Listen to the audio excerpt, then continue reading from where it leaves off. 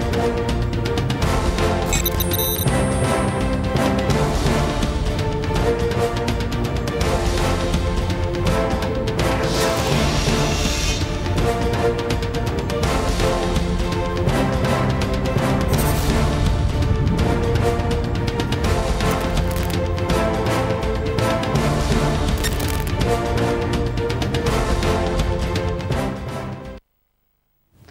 Κυρίες και κύριοι, χαίρετε. Καλή εβδομάδα και χρόνια πολλά στις εορτάζουσες. Δευτέρα 25 Νοεμβρίου και παρακολουθείτε το κεντρικό δελτίο ειδήσεων από το Ήπειρο στη Βιέννα. Παρουσία του Γενικού Γραμματέα Προστασίας του Πολίτη αλλά και του Αρχηγού της Ελληνικής Αστυνομίας ξεκίνησε τις εργασίες του στα Γιάννηνα το 30ο Πανελλήνιο Συνέδριο των Αξιωματικών Αστυνομίας.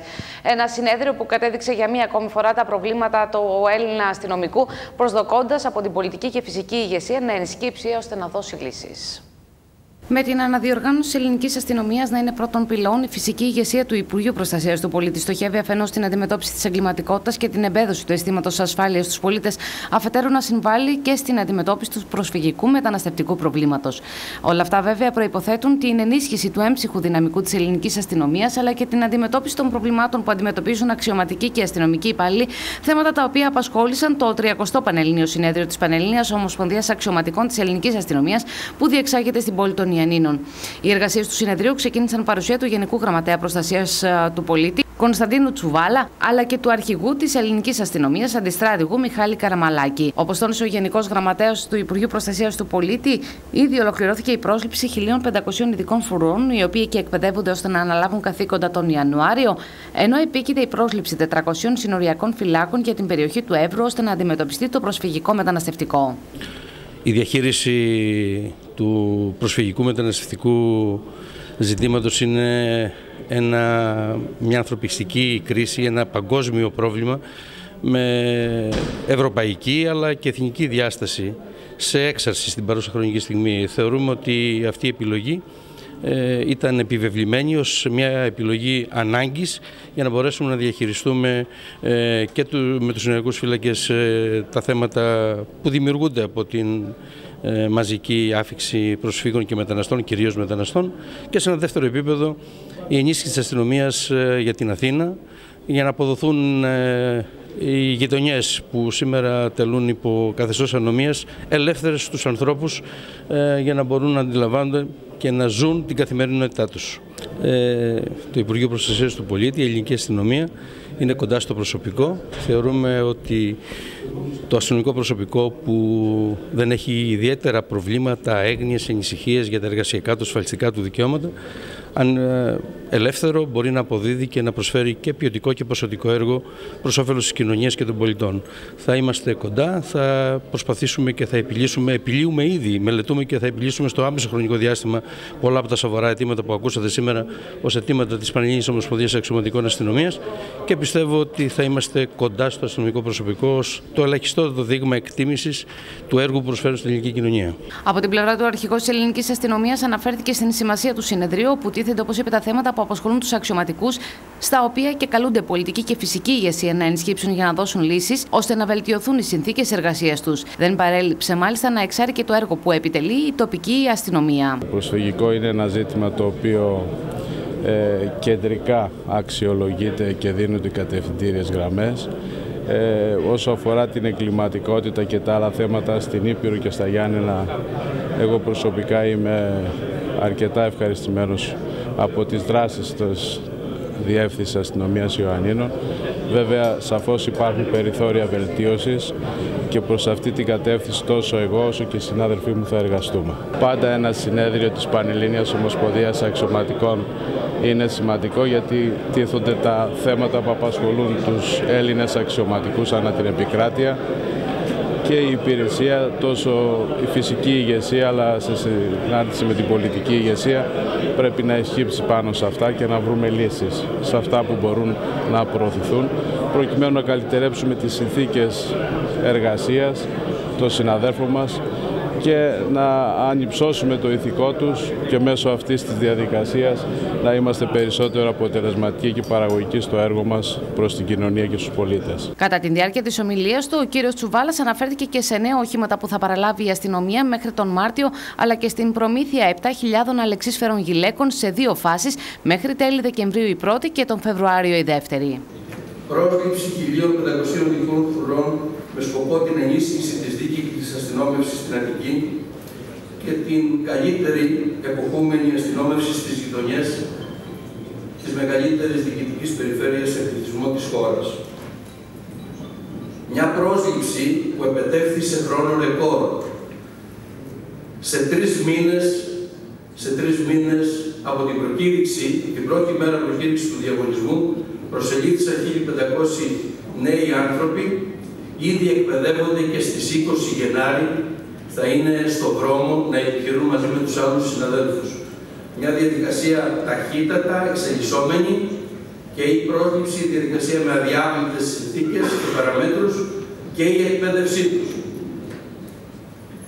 Επανασύσταση της ευέλικτης δίκυκλης αστυνόμευσης για το κέντρο της Αθήνας, αυτή που ξέραμε παλιά ως Δέλτα εφοδιασμός σε υλικοτεχνικό επιχειρησιακό εξοπλισμό αλλά και ατομικά εφόδια των αστυνομικών άμεσα. Τελικά καταφέραμε μέσα σε σύντομο χρόνο και έχουμε τη σύμφωνη γνώμη του Ελεκτικού Συνεδρίου για την συμβασιοποίηση 264 αυτοκινήτων για την περιφέρεια, τις διοικητικές περιφέρειες και πιστεύουμε ότι μέχρι τον Μάρτιο μήνα τα αυτοκίνητα θα έχουν παραδοθεί στην αστυνομία και θα έχουν κατανεμηθεί στις αστυνομικές υπηρεσίες της περιφέρειας. Εκτιμούμε μέχρι τον Μάρτιο μήνα 500 αυτοκίνητα, νέα αυτοκίνητα να κατανεμηθούν στις αστυνομικές υπηρεσίες. Μέχρι το τέλος του Δεκεμβρίου του 2019, 3.500 νέα αλεξίσφαιρα γυλαίκα θα δοθούν στους αστυνομικούς. Μέχρι τον Φεβρουάριο του 2020, άλλα 3.500 γυλαίκα θα δοθούν στους αστυνομικούς. 7.000 αλεξίσφαιρα γυλαίκα μέσα σε 5-6 μήνες. Προγραμματίζεται η πρόσληψη 400 συνολικών φυλάκων για να καλύψει τις ανάγκες στον Εύρο και ευρύτερα στην Τράκη για ένα εξαιρετικά μείζον ανθρωπιστικό ζήτημα όπως είναι η διαχείριση του προσφυγικού μεταναστευτικού προβλήματος με διάσταση παγκόσμια, κυρίως όμως πανευρωπαϊκή και εθνική. Εκτιμούμε πως οι αρχές της αλληλεγγύης τόσο σε διεθνές ευρωπαϊκό και σε εθνικό επίπεδο απαιτούν ή αν επιτρέπεται επιβάλλουν την αναλογική συμμετοχή στη διαχείριση των βαρών, ούτως ώστε όλες οι τοπικές κοινωνίες να αποδεχθούν την, την ευθύνη διαχείρισης του βάρους. Κατά τη διάρκεια του συνεδρίου, τόσο ο πρόεδρος της Πανελλήνιας Ομοσπονδίας Αξιωματικών Αστυνομίας Ιωάννης Κατσιαμάκας, όσο και ο πρόεδρος της ΠΟΑΣΥ Γρηγόρης Γερακαράκος αναφέρθηκαν στα προβλήματα των αστυνομικών και στην ανάγκη η πολιτεία να ενσκύψει με αύξηση του προπολογισμού, ιδιαίτερα την περίοδο αυτή όπου παρατηρείται αύξηση της εγκληματικότητας, ενώ υπάρχει και το προσφυγικό μεταναστευτικό. Την Ελλάδα των μνημονίων είδαμε παγιωμένες κατακτήσεις των πρωτοπόρων συνδικαλιστών αλλά και των μεταγενέστερων εποχών να αμφισβητούνται και να αφαιρούνται σε μια νυχτή στο όνομα της σωτηρίας της πατρίδας. Παρά τις προθεοποιήσεις μας ότι οι περικοπές του προπολογισμού της αστυνομίας θα οδηγούσαν στην υπολειτουργία των υπηρεσιών και στην γενική απαξίωση των εσωτερών που δεν ακουστήκαμε. Έτσι η κατάσταση στον τομέα της ιστορικής ασφάλειας δοκιμάστηκε για άλλη μια φορά. Η εγκληματικότητα αυξήθηκε και οι διεθνείς απειλές πρόβαναν απαιτητικά στον ορίζοντα. Το μαζαναστικό σήμερα αποτελεί ορολογιακή βόμβα στα λιμάνια της κοινωνίας και η λήψη μέτρων σε ευρωπαϊκό επίπεδο είναι επιθετική όσο ποτέ άλλοτε. Με την κυβερνητική αλλαγή τον Ιούλιο του 2019 δόθηκαν διαβεβαιώσεις από τους σημερινούς κυβερνώντες ότι θα υπάρξει η αναγκαία στήριξη των σωμάτων ασφαλείας και ώστε να μπορούν απρόσωπα να επιτελούν την αποστολή τους. Όχι αυτό που η αντιπολίτευση εντελώς υποχρεωτικά ονομάζει αστυνομοκρατία. Δεν θέλουμε αυτό. Αλλά θέλουμε στήριξη ουσιαστική και σε ειδικά μέσα και σε ανθρώπινο δυναμικό. Αλλά και με νομοθετικές παρεμβάσεις. Κάτι που βλέπουμε ότι έχει αρχίσει σιγά σιγά να γίνεται με την πρόσκληση των ελληνικών φρουρών, τις αλλαγές των άνθρωπων του ποινικού κώδικα που μας δίνουν σε πολλά σημεία τα χέρια. Βέβαια είναι μία αρχή. μένουν πολλά ακόμα να γίνουν. Και μάλιστα πρέπει να γίνουν σύντομα, διότι ο χρόνος μετράει αντίστροφα και οι αποφάσεις δεν μπορούν να περιμένουν. Η κλιματικότητα και το μεταναστευτικό απειλούν τη ζωή μας. Απειλούν να τεινάξουν στον αέρα την ασφάλεια της χώρας και όλα αυτά καλούμαστε να αντιμετωπίσουμε εμείς οι αστυνομικοί. Η αστυνομία έφτασε στο αμήν. Ο Υπουργός μιλάει για επανίδρυσή τη. Εύχομαι να μην τα λέει όλα αυτά για να κερδίσει χρόνο. Και κυρίως εύχομαι να μην βρεθούμε προεκπλήξεων. Όπως συνέβη με την αναδιάρθρωση. Μας είπαν εθνική ανάγκη. Δεν μας είπαν ακόμα πώς θα διασφαλίσουν τους συναδέλφους μας που μπήκαν στην αστυνομία. Αν η νέα κυβέρνηση που υποσχέται και πολλά παίρνει από τους πρώτους κιόλας μήνες τη διχόνοια και την ανασφάλεια ανάμεσά μας, τότε πώς θα λέει για θέλει να παραχθεί αποτέλεσμα. Δεν γνωρίζει ότι όταν ο αστυνομικός δεν αισθάνεται πλήρως κατοχυρωμένος σε αυτό που κάνει δεν θα αποδίδει. Και θα είναι και ο ίδιος ευάλωτος στη μάχη με τους κακοποιούς ή ακόμα μπορεί να είναι και επικίνδυνο για τον συνάδελφό του. Θέλω να επισημάνω την αναγκαιότητα πέρα από τις θεσμικέ αλλαγές και την επίλυση επιμέρους αιτημάτων μας, ας έρθει επιτέλους η υποχρηματοδότηση του Υπουργείου μας. Το παρόν στο συνέδριο έδωσαν οι Μητροπολίτες Ιωαννίνων και Κονίτσης, ο Περιφερειάρχης Υπήρου Αλέξανδρος Καχρημάνης, ο Δήμαρχος Ιωαννίνων Μωυσής Ελισάφ, ο Δήμαρχος Κόνιτσας Νίκος Εξάρχου, εκπρόσωποι των υπολείπων σωμάτων ασφαλείας, αλλά και εκπρόσωποι κομμάτων. για το έργο σας, το οποίο έχουμε όλοι ανάγκη, διότι με πολλή αυτοθυσία εξασφαλίζεται συνθήκες με τις οποίες μπορούμε να ζήσουμε σε δύσκολες εποχές, κατά τις οποίες δυστυχώς οι απαιτήσεις από εσάς έχουν αυξηθεί κάθετα κατακόρυφα. Γνωρίζουμε την αγωνία σας, γνωρίζουμε το έργο σας, γνωρίζουμε την προσφορά σας και είμαστε υπερήφανοι για εσάς και είμαστε και ευγνώμονες για την αγαστή συνεργασία που υπήρχε και υπάρχει πάντοτε μεταξύ Εκκλησίας και αστυνομίας. Θέλω να τονίσω όμως ότι αποτελεί ένα τμήμα της κοινωνίας και ο ρόλος της σε μια ευνομούμενη δημοκρατική και φιλελεύθερη πολιτεία είναι καθοριστικός. Θεωρώ ότι μου δίνεται ευκαιρία να εξάρω τον ρόλο της αστυνομίας, έτσι όπως το βλέπει η τοπική αυτοδιοίκηση, δηλαδή οι πολίτες, ιδιαίτερα σε περιοχές γεωγραφικά δύσκολες, όπως είναι η δική μας. Εμείς γυρνιάζουμε, όπως ξέρετε, με την Αλβανία, μια χώρα που εμφανίζει σοβαρά προβλήματα διαφθοράς, ναρκωτικών, εγκληματικότητας, τα οποία περνάνε και στη δική μας χώρα. Χάρη στην επαγρύπνηση της δικής μας αστυνομίας, κάθε χρόνο κατάσχονται τεράστιες ποσότητες χρυσή στην μεθόδια της ολόκληρης την Ήπειρο. Αυτό και μόνο φτάνει για να καταδειχθεί ο σημαντικός ρόλος που στην περίπτωση αυτή αποκτά αξιόλογες κοινωνικές διαστάσεις. Εσείς τη συνεισφορά και τη στήριξη της αριστεράς στα πέντε χρόνια της πανδημία εισαγωγικά, όπω τη θεσμική αναγνώριση και τη θεσμική θωράκιση του αστυνομικού συνδικαλισμού. Αλλά ερχόμενο και στο σήμερα, μεγάλο ενδιαφέρον είδα στο πρόγραμμα των εργασιών σας ότι θα έχουμε αμέσως μετά την ευκαιρία να ενημερωθούμε για την 24ωρη γραμμή ψυχολογικής στήριξης του προσωπικού της Ελλάδα μια δομή που δημιουργήθηκε στα χρόνια της δικιάς μας διακυβέρνησης, αφουγκραζόμενη επί της ουσίας τις ανάγκες, αλλά και αποδεικνύοντας τη διαχρονική μας στήριξη προς το εργαζόμενο, εργαζόμενο αστυνομικό. Η κυβέρνηση της Νέας Δημοκρατίας έχει ήδη εξαπλώσει σε αυτό το σύντομο χρονικό διάστημα την αντιλαϊκή της πολιτική και τον αντακτισμό σε βάρος του λαού στα ζητήματα της εξωτερικής πολιτικής προωθεί την πολιτική του ΝΑΤΟ, των ΗΠΑ, της Ευρωπαϊκής Ένωσης. Αυτά λοιπόν σε ό,τι αφορά το 30ο συνέδριο της Πανελλήνιας Ομοσπονδίας Αξιωματικών Αστυνομίας. Εμείς θα πάμε στην πρώτη συζήτηση στο στούντιο, καθώς την περασμένη Παρασκευή είχαμε αργά το απόγευμα την ανακοίνωση των νέων διοικητών σε νοσοκομεία της 6ης Υγειονομικής Περιφέρειας Υπήρου, βέβαια και σε άλλες υγειονομικές περιφέρειες, αλλά σε ό,τι αφορά την δική μας την περιοχή είχαμε νέους διοικητές. Και μαζί μου στο στούντιο έχω την τιμή και την χαρά να φιλοξενώ τον νυν διοικητή του νοσοκομείου Φιλιατών και νέο διοικητή του νοσοκομείου Χατζικώστα, τον κύριο Σπύρο Δερδεμέζη. Καλησπέρα κύριε Δερδεμέζη, ευχαριστώ Καλησπέρα που είστε εδώ. Καλησπέρα σας και στο κρατέ σας. Ευχαριστώ για την Συγχαρητήρια. Καλή δύναμη, καλή θητεία. Να είστε καλά. Ε, πλέον από τους φιλιάτες στο Χατζικώστα, ε, από τους μακροβιότερους διοικητές σε νοσοκομεία της α, περιοχής. Έτσι δεν είναι, είσαστε τώρα Είμαι, έξι, έχω κλείσει έξι χρόνια έξι και χρόνια. κάτι, ναι. Έξι χρόνια και κάτι. Ε, έξι χρόνια και κάτι στο, στους φιλιάτες, ουσιαστικά. Ε, υπήρξε και ένα διάστημα... Οχτώ που συ- μηνών στην οχτώ Κέρκυρα, μηνών το που 16. είχατε ε, φιλιάτες και Κέρκυρα μαζί και τώρα ε, ανεβαίνετε προς τα απάνω, προς το νοσοκομείο Χατζικώστα. Σίγουρα διαφορετικά μεγέθη ε, τα δύο νοσηλευτικά ιδρύματα. Ε, το καθένα είχε τις, είχε τις δικές του προκλήσεις όμως, ε, κύριε Δερδεμέζη, έτσι δεν είναι; Γιατί όταν πήγατε στους φιλιάτες είχατε άλλες προκλήσεις, άλλες προκλήσεις θα κληθείτε να αντιμετωπίσετε στο Χατζικώστα πλέον. Έτσι είναι όπως τα λέτε, απλώς για να έχουν και γνώση οι τηλεθεατές μας, οι διοικήσεις κρίνονται κάθε τρία χρόνια. Από το 2013 και έως σήμερα υπάρχουν προκηρύξεις, οι θητείες είναι τριετής.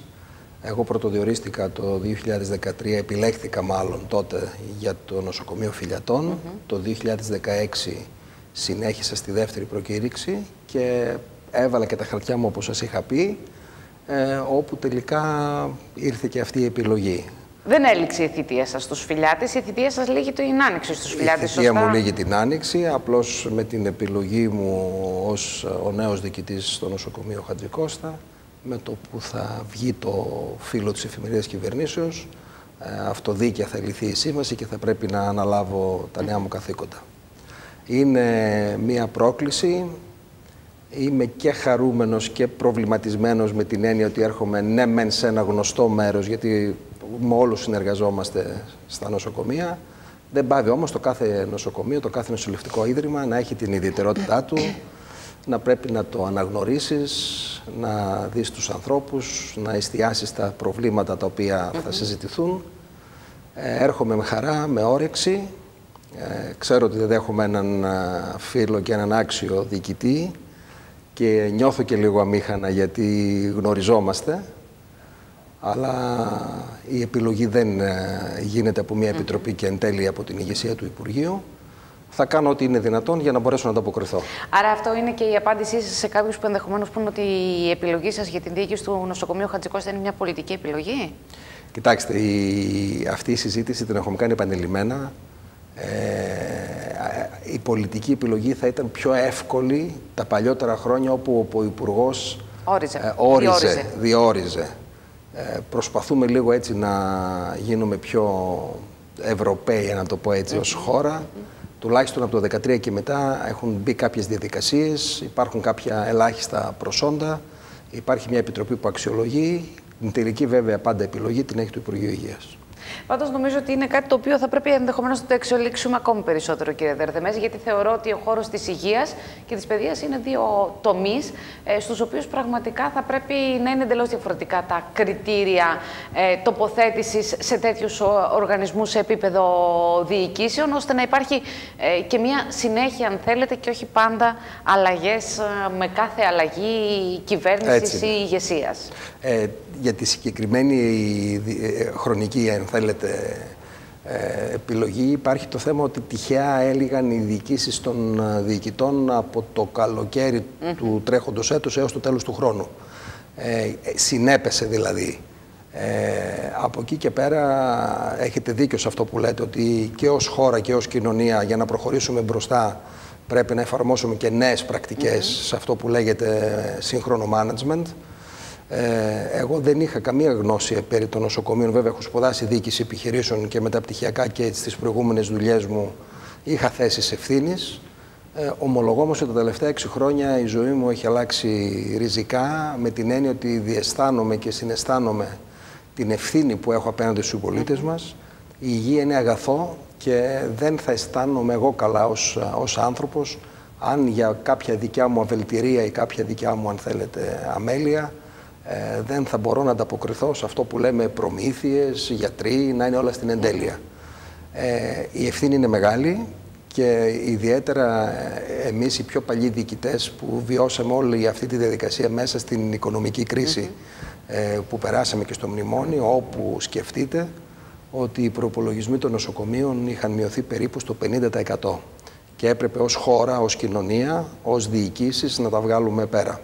Μπορεί να γίνει οικονομία, κύριε Δερδεμέζη, τελικά στο χώρο της υγείας, ε, χωρίς όμως να υπάρχει ταυτόχρονα έκπτωση στις παρεχόμενες υπηρεσίες υγείας για τους πολίτες. Γιατί Αυτό είναι το ζητούμενο. είναι αδιαφυσβήτητο. Ε, σας έχω πει πάρα πολλά παραδείγματα. Ε, το, το, πιο τελευταίο και το πιο πρόσφατο σε ό,τι αφορά το νοσοκομείο Φιλιατών ε, καταργήσαμε για να μας καταλάβει ο κόσμος τα ακτινολογικά φιλμ. Πήγαμε στο σύστημα PAX όπου υπάρχει μια ψηφιακή αρχαιοθέτηση της εικόνας και σε έξι μήνες είμαστε στο 50% κάτω. Ε, τρίτον, μπορούμε να αγοράζουμε υπηρεσίες. Αυτό κάναμε εμείς με το PAX. Δεν αγοράσαμε μηχανήματα, αγοράσαμε την υπηρεσία.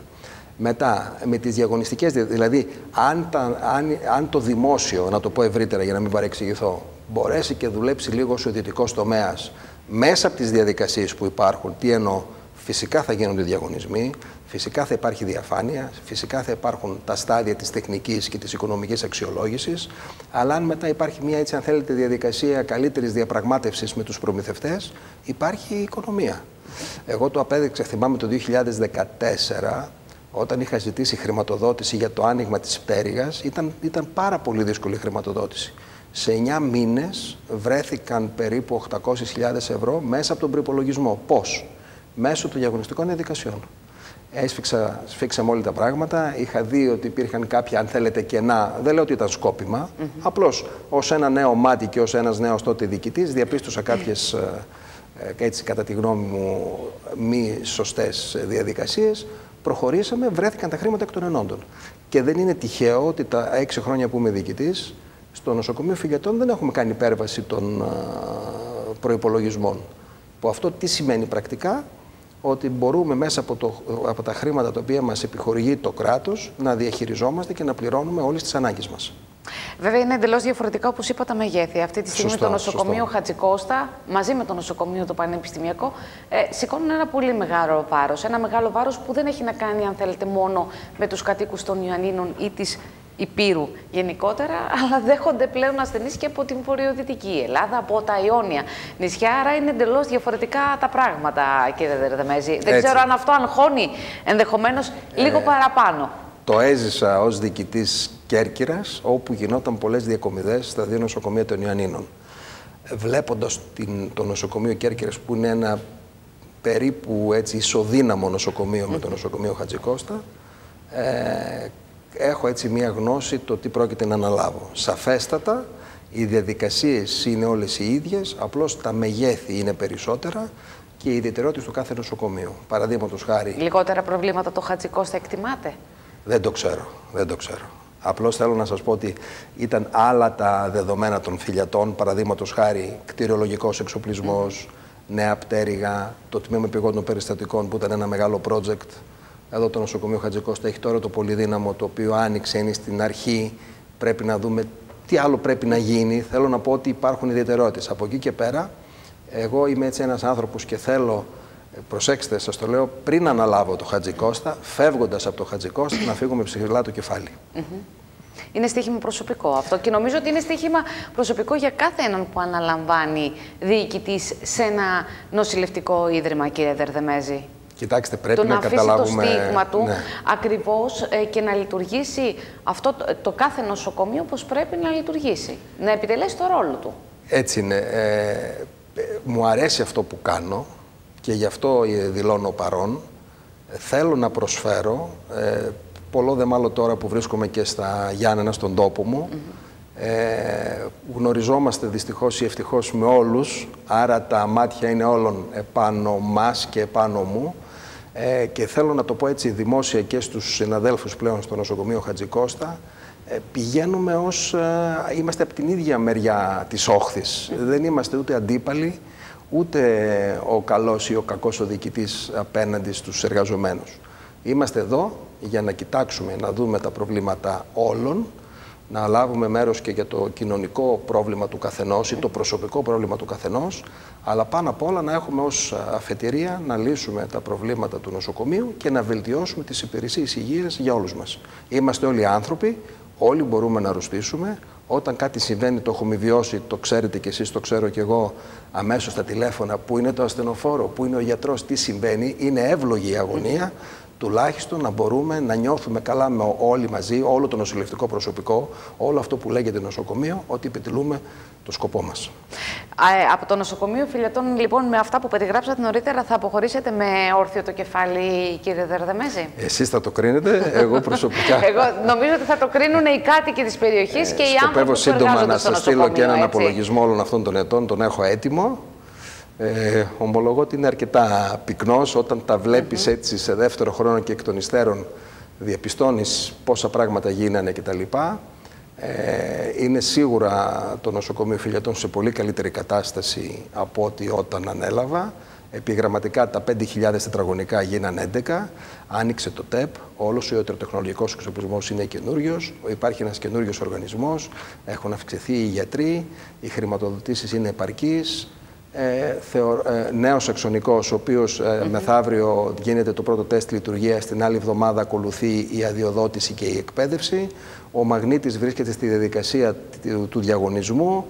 Ε, νομίζω ότι κάποια χρόνια πριν κανένας δεν πίστευε ότι το, στους φιλιάτες θα υπάρξει μια τέτοια, αν θέλετε, Βέβαια, ήταν κάτι για το οποίο δεχτήκατε και κριτική, θα έλεγε κανείς ως διοικητής. Πολλοί ήταν που διερωτώντουσαν τι χρειάζεται ένας αξονικός, για παράδειγμα, στο νοσοκομείο Κοιτάξτε. Φιλιατών. Ε, κύριε Δερδεμέζη, και αναφέρομαι κυρίως στους συνδικαλιστές του χώρου της υγείας, που θέταν το ερώτημα ποιος ο λόγος να υπάρχει ένας αξονικός στο νοσοκομείο. Ο αξονικός είναι ένα σύγχρονο εργαλείο, το οποίο πλέον αποτελεί, πώς να σας το πω, απαραίτητη προπόθεση για να υπάρχουν βελτιωμένες υπηρεσίες υγείας. Μην ξεχνάτε ότι το νοσοκομείο Φιλιατών έχει αξονικό από το 2001, ο οποίος δουλεύει, απλώς πλέον είναι παλιός και είναι ξεπερασμένης και παλιάς τεχνολογίας.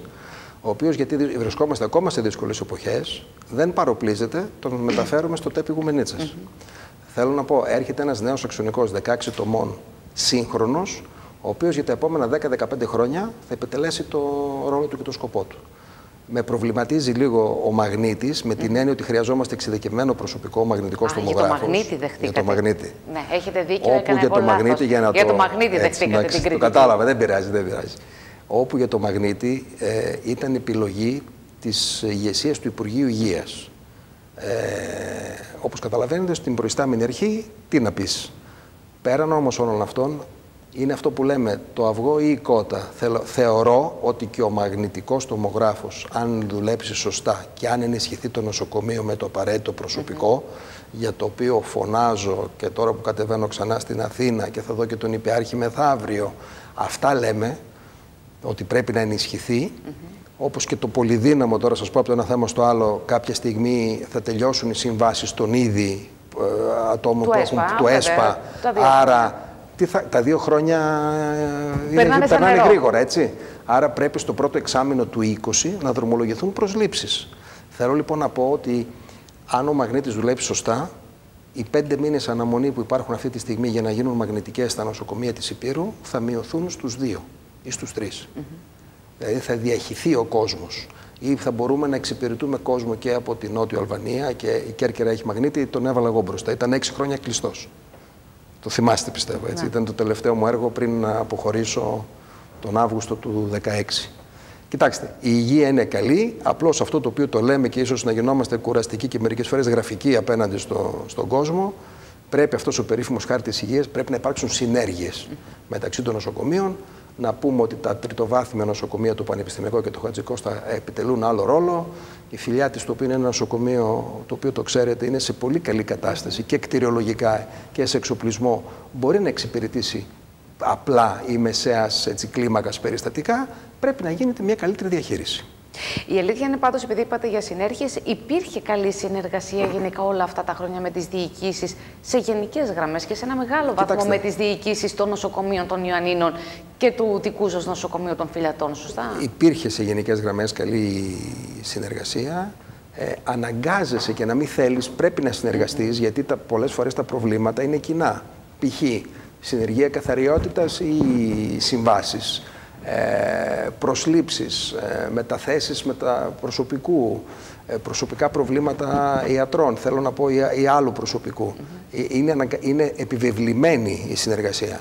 Απλώς μέχρι το 2016 είχαμε έτσι μια πιο, έτσι, αν θέλετε, στενή και πιο οικοδομητική συνεργασία όλοι οι προηγούμενοι διοικητές που βρισκόμασταν κάθε δίμηνο Το είχατε Το καθιερώσει. είχαμε καθιερώσει. Αυτό ατόνισε λίγο τα προηγούμενα χρόνια. Ίσως ήταν και τα προβλήματα περισσότερα. Αλλά η συνεργασία, οι ομιλίες και οι τηλεφωνικές, αν θέλετε, ε, συνδιαλέξεις είναι καθημερινές. Μάλιστα. Οπότε λοιπόν α, αποχωρείτε από τους φιλιάτες έχοντας α, κάνει ένα σημαντικό έργο, έχοντας εξελίξει τα πράγματα στο νοσοκομείο των α, φιλιατών, έτσι ώστε να μπορέσει να σταθεί ως νοσηλευτικό ίδρυμα στην, στο παραθαλάσσιο μέτωπο της α, Υπήρου, ε, στα σύνορα με την Αλβανία, ε, να επιτελέσει το ρόλο τον πραγματικό σε μια ιδιαίτερη περιοχή, είναι η αλήθεια κύριε Δερτεμέση, γιατί πολλές φορές το συζητούσαμε ότι θα πρέπει τελικά και τα παράλια της Υπήρου να έχουν την δική τους ε, υγειονομική δομή, ε, να μπορέσουν να υποστηριχθούν αυτόνομα κατά κάποιο τρόπο. Ξέρετε ότι όλο το καλοκαίρι καλύπταμε και όλους τους ασθενείς από την Πάργα.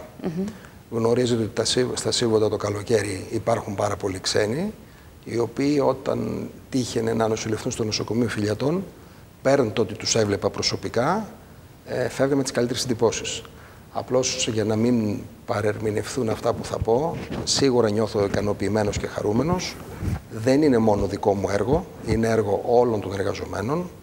Αυτούς θέλω πρωτίστως να ευχαριστήσω και τα διοικητικά συμβούλια με τα οποία συνεργάστηκα, γιατί στα έξι χρόνια, δεν θυμάμαι, πρέπει να είναι το τρίτο διοικητικό Τα συμβούλιο. διοικητικά συμβούλια άλλαζαν, εσείς παραμένετε βέβαια. Ε, δέχτηκα πολλές φορές αυστηρή κριτική. Ε, θεωρώ ότι ήταν καλό. Σας έκανε καλύτερο; Κοιτάξτε, ε, με το μόνο, ε, θεωρώ ότι ήταν καλοπροαίρετη, απλώς πολλές φορές με ενοχλούν τα άδικα δημοσιεύματα ή τα μη διασταυρούμενα δημοσιεύματα. Και Α, επειδή- Να το προσέξουμε δηλαδή από εδώ και πέρα. Όχι, υπήρχαν πάρα πολλές φορές Περισσότερο. περιπτώσεις όπου υπήρχαν έτσι λάθη και τελικά ζητήθηκε και συγγνώμη. Είναι μέσα στη δουλειά, αλλά έτσι το λέω πλέον με τα λόγου γνώσεως. Είναι δύσκολο το φορτίο ε, το να ηγείσαι σε ένα νοσηλευτικό ίδρυμα. Είναι πολλά τα προβλήματα και εύχομαι και σε όλους τους καινούριους συναδέλφους οι οποίοι θα αναλάβουν αυτές τις μέρες να έχουν γερό στο μάχη. Μάλιστα. Να ευχηθώ το ίδιο και σε εσάς. Φαντάζομαι ότι το αμέσως επόμενο χρονικό διάστημα και μέχρι να ε, δημοσιευθεί σε ΦΕΚΑ η ανάληψη των καθηκόντων σας, θα ενημερωθείτε και για τα τεκτενόμενα στο νοσοκομείο Χατζικώστα, ώστε την ημέρα που θα αναλάβετε καθήκοντα να έχετε μια πλήρη εικόνα ε, των Έτσι είναι. αναγκών του η, νοσοκομείου. Η δουλειά και τα έτσι. προβλήματα υπάρχουν και συνεχίζεται. Σήμερα ήμουν πρωί-πρωί στου φιλιάτε. Υπάρχουν εκκρεμότητες που πρέπει να κλείσουν. Παράλληλα όμως, με συγχωρείτε, θα βρω το χρόνο να ασχοληθώ και με το νοσοκομείο Χατζικώστα. Εκεί μετά ε, τι γίνεται στους φιλιάτες, Φε- αποχωρείτε εσείς, παραμένει να σας αναπληρώνει ο Διευθυντής Ιατρικής Υπηρεσίας μέχρι τον ορισμό Ναι. Μέχρι τον ουσιαστικά. ορισμό δι- νέας διοίκησης, νέας προκήρυξης πρακτικά και νέας διοίκησης. Μάλιστα. Ε, Εγώ όταν ανέλαβα ε, ε, υπήρχε διοικητικό κενό 8 μηνών. Δηλαδή παρέλαβα από το Διευθυντή Ιατρικής Υπηρεσίας, είχε αποχωρήσει τότε η κυρία Μαρκούλα, τον ε, Φεβρουάριο νομίζω του 2013. μάλιστα. Ε, βέβαια, επειδή δεν ξέρω αν θα σας επιλέξουν, επειδή το έχετε ξανακάνει και στο παρελθόν, κύριε Τερτεμέζη, να διοικείτε δύο νοσοκομεία, που ήταν Φιλιατών και Κέρκυρας, δεν ξέρω αν θα κληθείτε να κάνετε το ίδιο. Στη δεδομένη χρονική στιγμή να, δι... να συνδιοικείτε σε Χατζικώστα και Φιλιάτες, Μη- μη επειδή βά- γνωρίζετε, να μην βάζω ιδέες, Μην θα μου βάζετε πείτε. ιδέες. δεν αποφασίζω. Νομίζω ότι ο Υπουργός δεν μας ακούει αυτή τη στιγμή. Θέλω να εύχομαι ότι δεν μας ακούει για να Εντάξει, μην εγώ βάζω είμαι ιδέες. παρόν, είμαι χρήσιμος. Σίγουρα το Χατζικώστα είναι πιο δύσκολο, είναι πιο πολλά τα θέματα, είναι ανδιαφυσβήτητο. Ε, από εκεί και πέρα είναι θέμα του Υπουργείου Υγε- Υγείας ε, για να κρίνει και να αποφασίσει αν χρειαστεί ένα μεταβατικό διάστημα. Μάλιστα. Ό,τι είναι να γίνει θα, θα μαθευτεί, θα, θα, θα το δούμε στην πορεία. Οπότε λοιπόν κάπου εδώ θα τελειώσουμε, θα ολοκληρώσουμε την κουβέντα μας. Ε, έχ- θα έχουμε χρόνο αρκετό μπροστά μας κύριε Δερδεμέζη να δούμε και τα ζητήματα ε, πλέον α, και άλλα ζητήματα που αφορούν το Χατζικώστα. Όταν θα αναλάβετε πλέον τα καθήκοντά σας θα έχετε και μία εικόνα για να μας πείτε έτσι και τους ε, τις πρώτες σκέψεις και τους πρώτους στόχους που θα θέσετε, γιατί πάντα κάθε διοίκηση πηγαίνει φαντάζομαι σε επίπεδο στόχων βήμα-βήμα. Έτσι, δεν είναι; Και όχι μόνο ως διοικητής, σε συνεργασία με τα αρμόδια στελέχη, με όλες τις υπηρεσίες του νοσοκομείου και τις προτεραιότητες της ΥΠΗ και του Υπουργείου αντίστοιχα. Μάλιστα. Θα τα δούμε λοιπόν στην πορεία όλα αυτά. Θέλω να σας ευχαριστήσω πάρα πολύ για την Εγώ εδώ που σας είχαμε να ευχαριστώ για τον χρόνο συνομιλήσουμε. και την ε, Να ευχηθώ λοιπόν καλή δύναμη, καλό κουράγιο για μία ακόμη φορά. Να είστε καλά. Να είστε καλά κι εσείς. Να συνεχίσουμε κυρίες και κύριοι επαυτοφόρο την ώρα που παραλάμβανε το ποσό των 500 ευρώ έπειτα από τηλεφωνική εξαπάτηση ηλικιωμένη συνελήφθη μια 60χρονη Ελλοδαπή στα Γιάννα, μέλος εγκληματικής οργάνωσης που από τον Αύγουστο σε διάφορες πόλεις είχε καταφέρει να αποσπάσει από ηλικιωμένους το ποσό των 146.500 ευρώ. Οι άνδρες της Υποδιεύθυνσης Ασφάλειας Ιωαννίνων έφτασαν στη σύλληψή της διερευνώντας καταγγελίες πολιτών. Επιβεβαιώθηκε η εμπλοκή τη σε εννέα περιπτώσεις εξαπάτησης. Διερευνάται η συμμετοχή της και σε άλλες, ενώ σε εξέλιξη είναι και η έρευνα για τον εντοπισμό των συνεργατών της.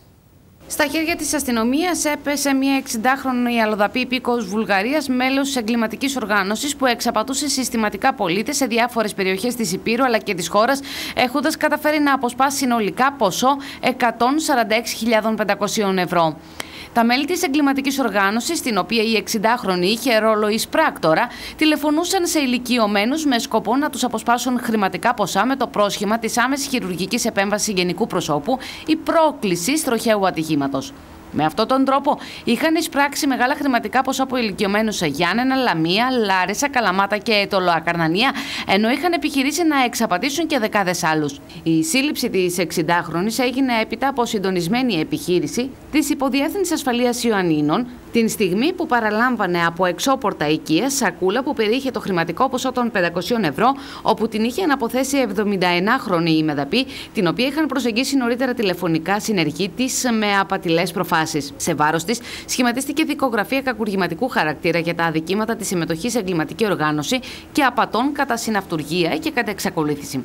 Όπως προέκυψε από την αστυνομική έρευνα, τα μέλη της εγκληματικής οργάνωσης πραγματοποιούσαν ευνηδιαστικές τηλεφωνικές κλήσεις ηλικιωμένους και προσποιούμενοι είτε τους γιατρούς ε, και με το πρόσχημα ότι ένα στενό συγγενικό τους πρόσωπο, κυρίως παιδί, εισήχθη εσπευσμένα σε κάποιο νοσοκομείο λόγω τροχαίου ατυχήματος ή κάποιου άλλου έκτακτου λόγου, απαιτούσαν χρήματα για να γίνει άμεσα κάποια ιατρική πράξη, συνήθως χειρουργική επέμβαση, είτε παρουσιάζονταν ως αστυνομικοί και με το πρόσχημα ότι οι οικοί τους είχαν εμπλακεί σε τροχαίο ατύχημα με θανάσιμο ή σοβαρό τραυματισμό ανηλίκου, απέτωσαν χρηματικά ποσά προκειμένου οι εμπλεκόμενοι συγγενείς τους να αποφύγουν τις συνέπειες από το δίθεν τροχαίο ατύχημα. Επιπλέον, διαπιστώθηκε ότι η συλληφθήσα, έχοντας αναλάβει τον ρόλο του εισπράκτορα, μετέβαινε σε προκαθορισμένα σημεία προκειμένου να παραλάβει τα χρήματα από τα υποψήφια θύματα, ενώ άλλα μέλη της οργάνωσης είχαν αναλάβει τον ρόλο καθοδήγησης και επικοινωνίας με τα υποψήφια θύματα.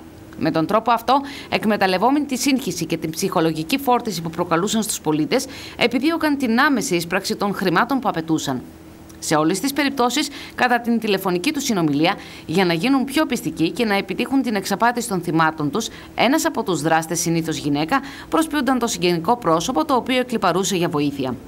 Στο πλαίσιο της εντελεχούς έρευνας, προέκυψε ότι η 60χρονη εμπλέκεται επιπρόσθετα σε 9 απάτες που διεπράχθησαν κατά το χρονικό διάστημα από 8 Αυγούστου έως 9 Νοεμβρίου και συγκεκριμένα στην κατοχή Ετωλοακαρνανία απέσπασαν από 72χρονη μεδαπή το χρηματικό ποσό των 5.000 ευρώ. Στην Λάρισα απέσπασαν από 66χρονη μεδαπή το χρηματικό ποσό των 15.000 ευρώ αλλά και χρυσαφικά. Στην Λαμία απέσπασαν από 81χρονη μεδαπή το χρηματικό ποσό των 1.500 ευρώ. Στα Ιωάννη απέσπασαν από 79χρονη μεδαπή το χρηματικό ποσό των 15.000 ευρώ. Στην Καλαμάτα απέσπασαν από 81χρονη μεδαπή το ποσό των 52.000 ευρώ. Στην Λαμία από 76χρονη το ποσό των 10.000 ευρώ.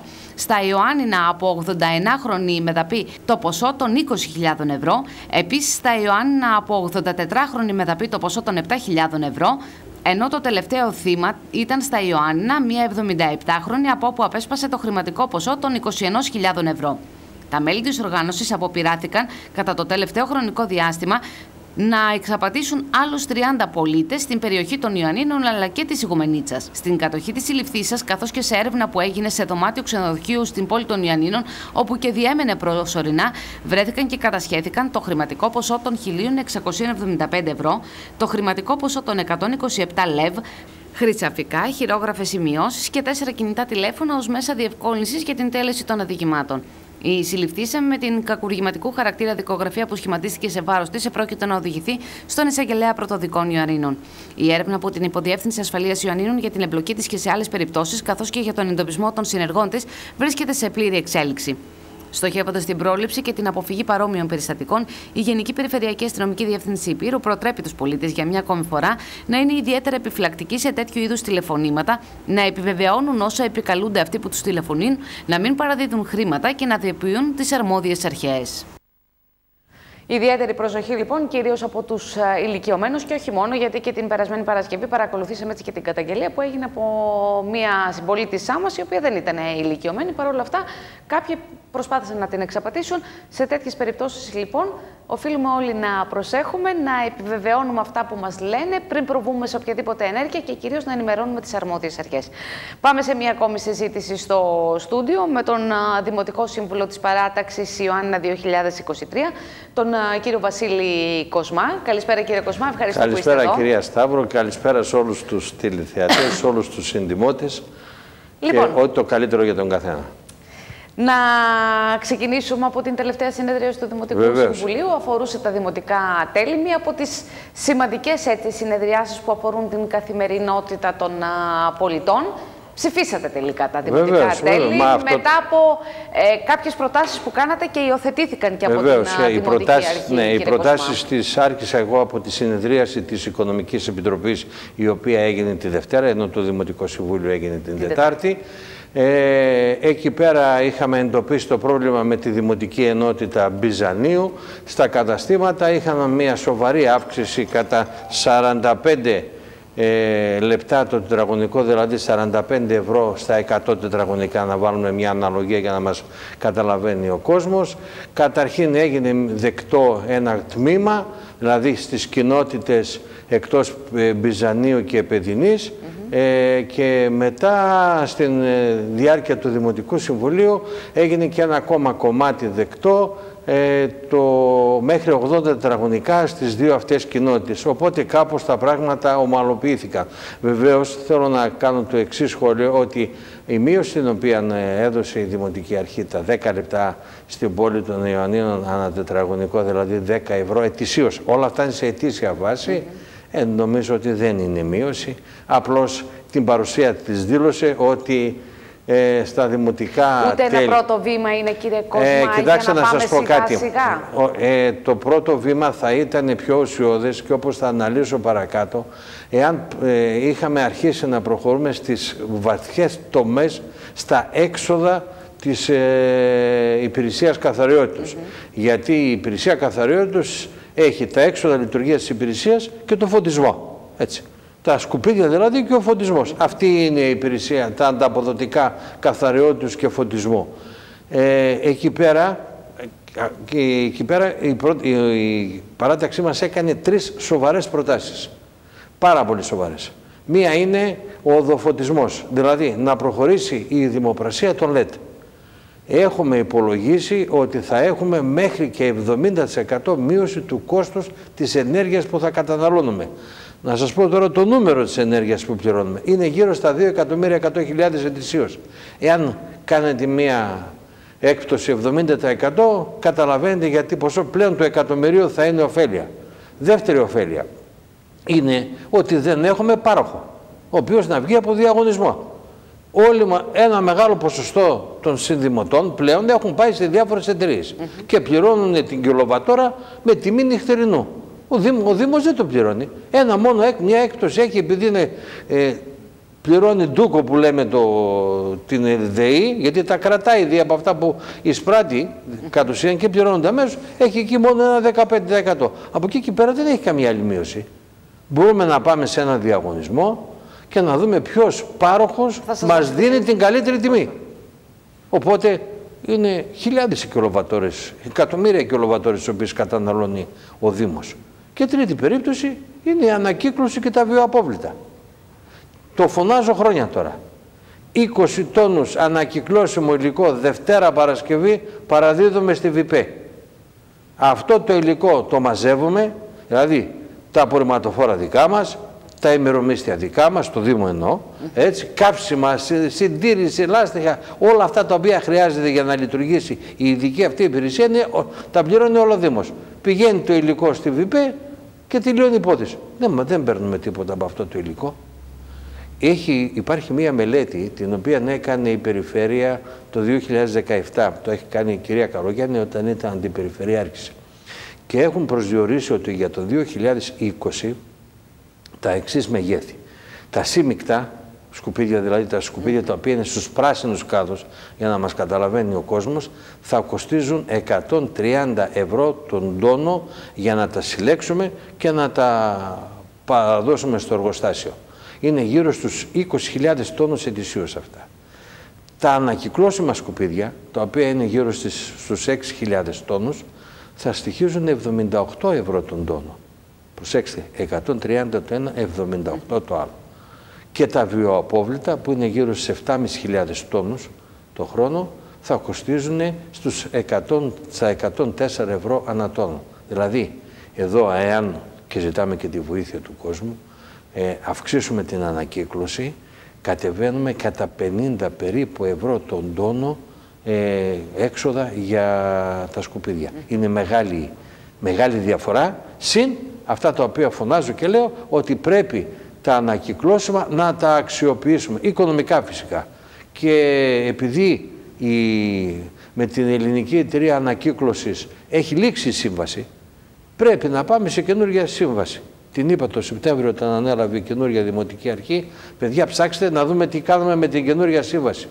Να, να πάρουμε λεφτά από τα ανακυκλώσιμα ή ανταπόδοση. Και η ανταπόδοση και αυτά λεφτά είναι όπως καταλαβαίνετε, αυτοκίνητα, κάδος και τα τι αυτά. Δεν έχουμε κόδωνες πρέπει να αναπτύξουμε τους κόδωνες. Διότι έχουμε περιοχές που είναι πολλά μαγαζιά υγειονομικού ενδιαφέροντος, εστιατόρια, ε, καφετέρες και αυτά, που εκεί δεν υπάρχουν κόδωνες και όλο το γυάλινο υλικό αυτό το οποίο μένει, που πηγαίνει, στους μπλε κάδος δεν μπορεί να αξιοποιηθεί απόλυτα και ενώ οι κόδωνες είναι μόνο για γέλια. Είχε αποδώσει τότε, κύριε Κοσμά, ε, αυτή η τοποθέτηση αυτών των. Στους κόδωνες; Ναι. Βεβαίως. Αποδίδει. Αλλά δεν υπάρχουν κόδωνες. Ελάχιστοι κόδωνες υπάρχουν αυτή τη στιγμή. Βασικά στην πόλη, γιατί σε, εκεί απευθύνονται οι κόδωνες πιο πολύ. Αλλά έχουμε περιοχές που έχουν πάρα πολύ γυάλινο υλικό, το οποίο ίσως πετιέται και στα σύμμικτα, ίσως πετιέται και στα ανακυκλώσιμα. Κανείς δεν ξέρει πού πάει αυτό. Και όπως είπα πρέπει να, πάμε, να προχωρήσουμε την ανακύκλωση.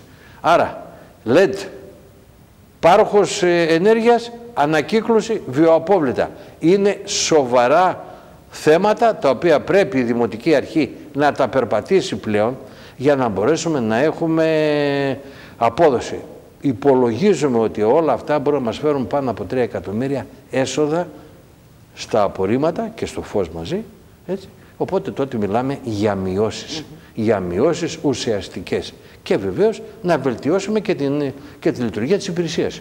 Γιατί να μην βελτιώσουμε. Υπάρχουν ατομικά σάρθρα, ηλεκτρικά ατομικά σάρθρα που μπορούν να τα χειρίζονται οι οδοκαθαριστές και από αυτές να μαζεύουν τα φύλλα. Ε, η πόλη είναι γεμάτη από φύλλο και να μην κάθονται με τη σκούπα και το φαράσι. Και να παιδεύονται αυτοί οι άνθρωποι. Γιατί να παιδεύονται; Να αγοράσουμε ηλεκτρικά ατομικά σάρωθρα τα οποία μπορούν σε όλα τα πεζεδρόμια και σε όλα τα ρήθρα να μαζευτεί αυτό όλο το φύλλο και για τα σκουπίδια φυσικά, όχι μόνο τα φύλλα. Και τα σκουπίδια. Κάνουμε και ευκολότερη και καλύτερη την ε, δουλειά μας επάνω και άλλα αντικείμενα τα οποία είναι στην uh, υπηρεσία καθαριότητας που μπορούν να βελτιώσουν και την παροχή υπηρεσιών. Γιατί ο πολίτης θέλει και την παροχή υπηρεσιών, δεν είναι μόνο το οικονομικό κομμάτι. Και η παροχή υπηρεσιών και αυτή πρέπει να βελτιωθεί και να γίνει καλύτερη.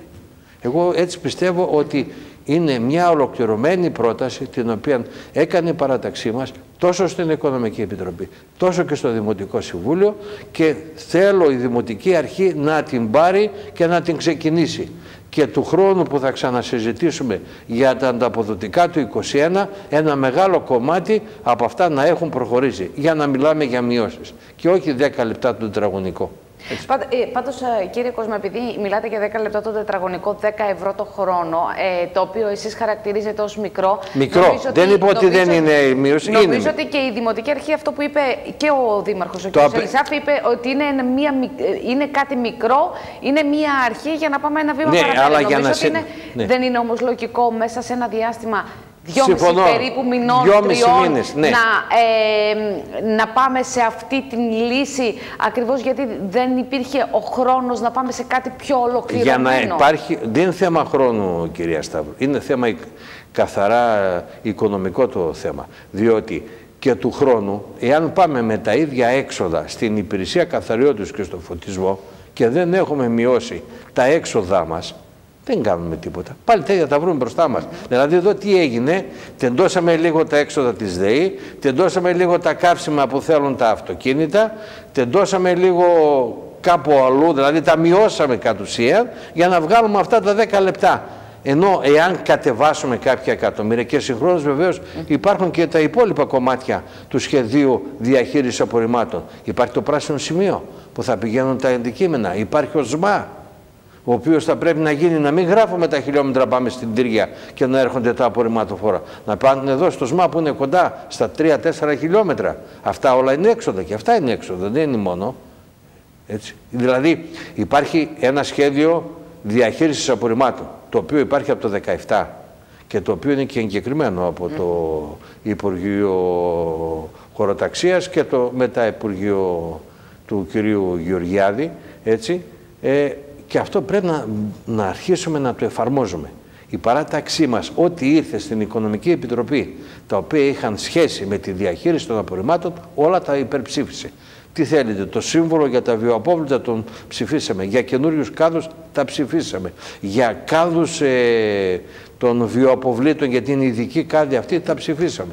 Έτσι, άρα στη, στηρίξαμε τη Δημοτική Αρχή. Έχουμε όμως την απέτηση να έρθει το 20, τον, Οκ- τον Νοέμβριο, τον Οκτώβριο, τον Νοέμβριο, όποτε έρθει το 20, τον Νοέμβριο κατά βάση να έρθει, να μας φέρει εισήγηση με την οποία θα έχουμε μείωση των ανταποδοτικών, γιατί κάναμε αυτές τις ενέργειες που εξοικονομήσαμε χρήματα. Κύριε Κοσμά, ε, αφού η πρόταση η δική σας το ένα το κομμάτι είχε γίνει ήδη αποδεκτό στην Οικονομική Επιτροπή, το δεύτερο στη συνέχεια έγινε Μιλάμε για, το, αποδεκτό; για την ενότητα Μπιζανίου, έτσι, Βεβαίως, μόνο την για ενότητα αυτό. Μπυζανίου. Έγινε, γιατί συνταχθήκατε με τις παρατάξεις που ζήτησαν αναπολίτησης. Όχι, όχι, ήταν άλλο θέμα. Άλλο ήταν, θέμα. α, ήταν άλλο θέμα. Η παράταξη του κυρίου Μπέγκα ζ- έκανε μία αντιπρόταση. Επειδή ξέρετε ο νέος νόμος του Υπουργείου Εσωτερικών, όταν κάνεις μία αντιπρόταση, που η οποία πρέπει να είναι ισοσκελισμένη, πρέπει η οικονομική υπηρεσία να την μελετήσει. Έτσι. Και η οικονομική υπηρεσία απάντησε ότι αυτή η αντιπρόταση δεν μπορεί να ε, στηριχθεί, Συζητηθεί. να στηριχθεί. Διότι αυτά τα οποία πρότεινε η παράταξη του κυρίου Μπέγκα για μείωση στα έξοδα, δηλαδή ήταν τα λεφτά τα οποία θα πληρώναμε στην ΔΕΗ. Ήταν κάτω από το 2%. Έτσι, όπως έχει υπολογίσει η οικονομική υπηρεσία, δεν μπορούμε να κατεβούμε κάτω από το 2%. Μόνο αν κλείσουμε τις λάμπες. Αν τις κλείσουμε και τις σβήσουμε τις λάμπες, θα κατεβούμε, αλλά αυτό δεν είναι, δεν είναι η λύση του. Δεύτερον, ήταν να μην πληρώσουμε στο χιτά του ελληνικού, που εκεί πάμε το υπόλοιμα από το εργοστάσιο της Τύργιας, 80.000 λιγότερο. Τόσο μας είχε βάλει ο Φώσδα, τόσο πρέπει να πληρώσουμε. Οπότε αυτές οι μειώσεις δεν ήταν εφικτές και γι' αυτό και εμείς ε, δεν κάναμε ποτέ την πρόταση για την ενότητα Μπυζανίου να κάνουμε αντιπρόταση γιατί θα φτάναμε στη δύσκολη θέση κάποια κοινότητα να την ε, τιμωρήσουμε με μία αύξηση και τον Μπυζάνι να το μειώσουμε. Γι' αυτό είπαμε κύριοι η πρότασή μας είναι να μειωθούν αυτά τα υπέρογκα του Μπυζανίου με πώς ψάξτε, είναι λίγα λεφτά, 70.000 ήτανε, ψάξτε πώς θα μειώσουμε κάποια λίγα έξοδα για να το κάνουμε. Τι- Για να επανέλθω στο προηγούμενο που ρωτήσατε, αυτή ήταν η υπόθεση και είπαμε ότι εάν η οικονομική υπηρεσία θέλει να το ξαναμελετήσει και να το δούμε, τότε ας αναβληθεί. Αλλά τελικά δεν νομίζω ότι ήταν ουσία στο θέμα. Η συζήτηση συνεχίστηκε, οι αποφάσεις πάρθηκαν. Και αυτό το θέμα με το νόμο του, τον καινούριο νόμο του Υπουργείου Εσωτερικών ε, κάπως πρέπει να λυθεί. Δεν μπορεί να γίνεται αυτό το πράγμα ε, ότι πρέπει να υπάρχει η αντιπρόταση και η αντιπρόταση να είναι απολύτως ισοσκελισμένη διότι τα ανταποδοτικά από τον νόμο έχουν και μία ευελιξία, ένα 10% στο συνολικό κόστος. Οπότε μπορούμε να πάμε και στην ευελιξία εκεί πέρα. Και υπάρχουν και ορισμένα θέματα αρχής που δεν μπορείς να πας μόνο με, υπο- δηλαδή δεν είναι σαν τα παλιά που είχαμε τη δυνατότητα κάποιο τιμολόγιο να μην το ψηφίσουμε. Κα- Τα υπόλοιπα μπορούσαμε να τα ψηφίσουμε. Τώρα ό,τι δεν ψηφίζεις πρέπει να το έχεις να κάνεις αντιπρόταση και να το έχεις ισοσκελισμένο. Είναι πάρα πάρα πολύ δύσκολο αυτό και σε χρόνο λίγο. Δεν είναι απεριό... Πάντως, ε, κύριε ατελείωτος. Για να έρθουν τα ανταποδοτικά και να αρχίσει η πρώτη συζήτηση στην Οικονομική Επιτροπή τη Δευτέρα, εγώ από ό,τι γνώριζω δούλευε η Οικονομική Υπηρεσία 15 μέρες. Πώς είναι δυνατόν μία παράταξη ή κάποιες παρατάξεις να φέρουν μέσα σε 48 ώρες εισηγήσεις και να μπορούν να είναι και ισοσκελισμένες, να είναι σωστές βάσει του νόμου. Έτσι, κάπως αυτό το πράγμα πρέπει να το κοιτάξει το Υπουργείο. Εν πάση περιπτώσει, αυτή τη στιγμή λειτουργούμε με κατά αυτήν τη διάταξη και δεν μπορούμε να είμαστε παράνομοι. Η διάταξη είναι διάταξη. Πάντως, σίγουρα θα συμφωνήσουμε όλοι ότι χρειάζονται ε, μέτρα και δράσεις προκειμένου να μπορέσουν τα επόμενα χρόνια να μειωθούν ακόμη περισσότερο τα δημοτικά τέλη. Γιατί ο κόσμος διαμαρτύρεται, είναι υπέρογκα, ε, θέλει να πληρώσει λιγότερα χρήματα. Φαντάζομαι όμως θα συμφωνήσετε και στο γεγονός ότι χρειάζεται και μια ισοτιμία πλέον Βεβαίως. σε ολόκληρο τον Δήμο Ιωαννητών. Έχει, μου δίνετε μια πολύ καλή ερώτηση. Το είχα βάλει από το 12 αυτό. Από το 12, από το 11, ο Καλλικράτης έλεγε να υπάρξει μεταξύ των δημοτικών τελών να υπάρξει ένας ισοσκελισμός. Σύγκληση. Σύγκληση. Μπράβο. Σύγκληση είναι η πιο ορθή ορολογία. Ε, και αυτό φυσικά θα ήταν προς τα κάτω. Δεν μπορούσε να ήταν ποτέ προς τα πάνω. Έτσι. Ε, και δεν έγινε ποτέ. Πέρασαν εννέα χρόνια και δεν έχει γίνει καμία σύγκληση. Τίποτα. Ε, προς, προς, προσπαθούμε να αεροβατούμε προς διάφορες κατευθύνσεις με κάτι μικροδιαφορές αλλά η σύγκληση που έπρεπε να αρχίσει από το 12, ας πούμε ότι το 11 ήταν ένα έτος διερεύνησης. από το 12 και μετά δεν έγινε καμία σύγκληση. Μία μικρή μείωση είχε ξαναγίνει πάλι στην πόλη των Ιωαννίνων και στα καταστήματα της πόλης των Ιωαννίνων και από εκεί πέρα τίποτε άλλο. Οπότε, γι' αυτό είπα ότι μία καλή μείωση του συνόλου των εξόδων της καθαριότητας και του φωτισμού θα μας δώσει πολύ μεγάλη δυνατότητα αυτή να ορθολογήσουμε και να συγκλίνουμε προς τα κάτω φυσικά τα δημοτικά τέλη και να βάλουμε και αναλογικά τις, ε, με τις ανάγκες που έχει κάθε περιοχή. Εγώ πιστεύω ότι είναι πολύ εφικτή αυτή η μείωση. Πάρα πολύ εφικτή είναι. Τα τέλη λοιπόν ε, Λάβαμε απόφαση, πήραν, πήραμε την απόφαση, πήραν τώρα απόφαση, έρχονται προϋπολογισμός, πήραν τον δρόμο τους. Έρχονται τεχνικά προγράμματα, έρχονται και προϋπολογισμός, κύριε και κλείνει η χρονιά. Για να κλείσει η χρονιά, έχετε καθόλου εικόνα ή έχετε αποφασίσει ως παράταξη το πώς ε, θα κινηθείτε και τι στάση θα κρατήσετε. Κοιτάξτε να σας πω κάτι. Πάντοτε η στάση μας θα είναι μέσα στο πνεύμα της, ε, του, του σωστού και του εφικτού όπως και στα τέλη, εφικτά πράγματα δώσαμε. Δεν δώσαμε αέρα και ούτε κορώνες. Έτσι. Και, στα, και στο τεχνικό πρόγραμμα και εδώ οι προτάσεις μας θα είναι και, και στοιχειοθετημένες με υπόβαθρο και με δυνατότητες να, να γίνουν αυτά τα οποία θα λέμε και να είναι και εφικτά οικονομικά. Έτσι, Γιατί και το ένα πρέπει να γίνει και το άλλο. Ήδη εδώ και στο προηγούμενο ή στο προ προηγούμενο Δημοτικό Συμβούλιο, η κυρία Καλογιάννη έβαλε ένα θέμα, λίγοι το κατάλαβαν, ε, αλλά είναι ουσίας για μένα. Είναι ο, από τον κόμβο Βογιάννο μέχρι το Πανεπερωτικό. Πήγε η πρόταση για να πάει στη διαχειριστική αρχή από το Δήμο. Έβαλε όμως η διαχειριστική αρχή, η περιφέρεια, έβαλε 7 ερωτήματα. Τα ανέπτυξε η κυρία Καλογιάννη μέσα στο Δημοτικό Συμβούλιο και ρώτησε τι γίνεται με αυτά τα ερωτήματα τα οποία πρέπει να απαντήσει ο Δήμος. Η απάντηση της Δημοτικής Αρχής είναι ότι όλα βαίνουν καλώς, όλα προχωράνε και θα, συντόμως θα ε, τακτοποιηθούν αυτά. Εγώ βάζω ένα ερώτημα το οποίο το έχω ζήσει και παλιότερα όταν ήμουν στη, δημο, στη, δημοτική, στη διοίκηση του Δήμου. Τα, τις η περιοχή και αυτή έχει ρημοτομίες. Αυτή τη στιγμή δεν έχουμε πάει ακόμα αίτηση, δεν έχουμε κάνει στο πρωτοδικείο για να πάρουμε τιμή μονάδος για τα ρημοτομούμενα κομμάτια. Πώς είναι δυνατόν να προχωρήσει; Εγώ λέω ότι όλα τα άλλα της εργολαβίας τα οποία έθεσε η κυρία Καρογιάννη λύνονται. Τα ρημοτομούμενα. Ποιος συμπολίτης θα επιτρέψει στο Δήμο να μπει στο οικόπεδό του αν δεν αποζημιωθεί; Δεν το έχω συναντήσει. Τα 20 χρόνια που είμαι στο Δήμο δεν το έχω συναντήσει πουθενά εκτός λίγων περιπτώσεων που ίσως για κάποιο άλλο όφελος του συμπολίτη έδωσε το οικόπεδό του και πήρε την αποζημίωση αργότερα.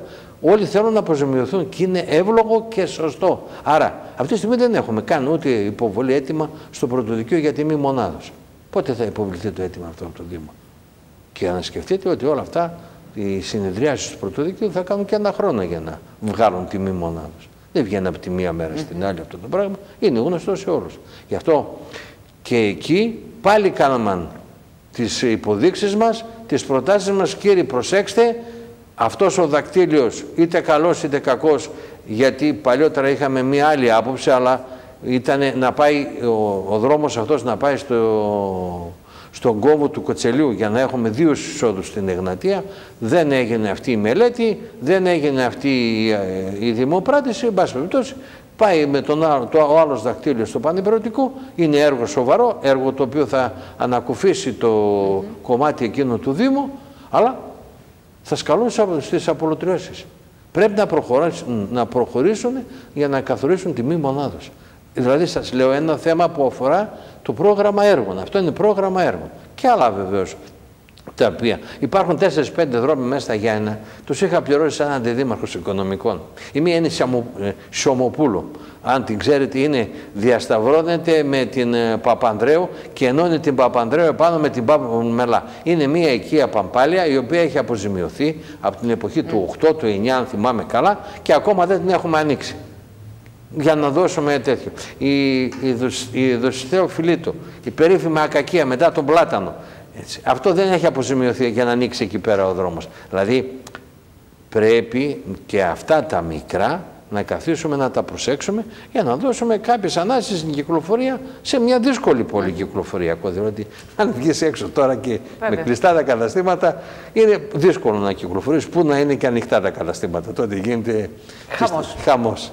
Ε, κύριε Κοσμά, να σας ζητήσω και ένα σχόλιο έτσι πώς είδατε τα, τα αποτελέσματα των εκλογών στην ΠΕΔΑ αλλά και στο Φορέα Διαχείρισης Τερών Αποβλήτων; Κοιτάξτε να σας πω, εντάξει. Ε, σε αυτές τις εκλογές πάντοτε μπορούν να συμβούν και πράγματα τα οποία να μην τα περιμένεις, αλλά εν πάση περιπτώσει ήταν η παράταξη της κεντροδεξιάς, στη ΜΕΝ ΠΕΔ είναι πλέον, έχει την απόλυτη πλειοψηφία, Βεβαίως δεν έχει την πλειοψηφία στον Φόσδα, διότι από εκεί, από εκεί και πέρα ίσως και κάποιοι να δυσαρεστηθήκαν κατά την ψηφοφορία και μεταφέρθηκε η δυσαρέσκεια στο Φόσδα. Στο ε, να σας πω κάτι.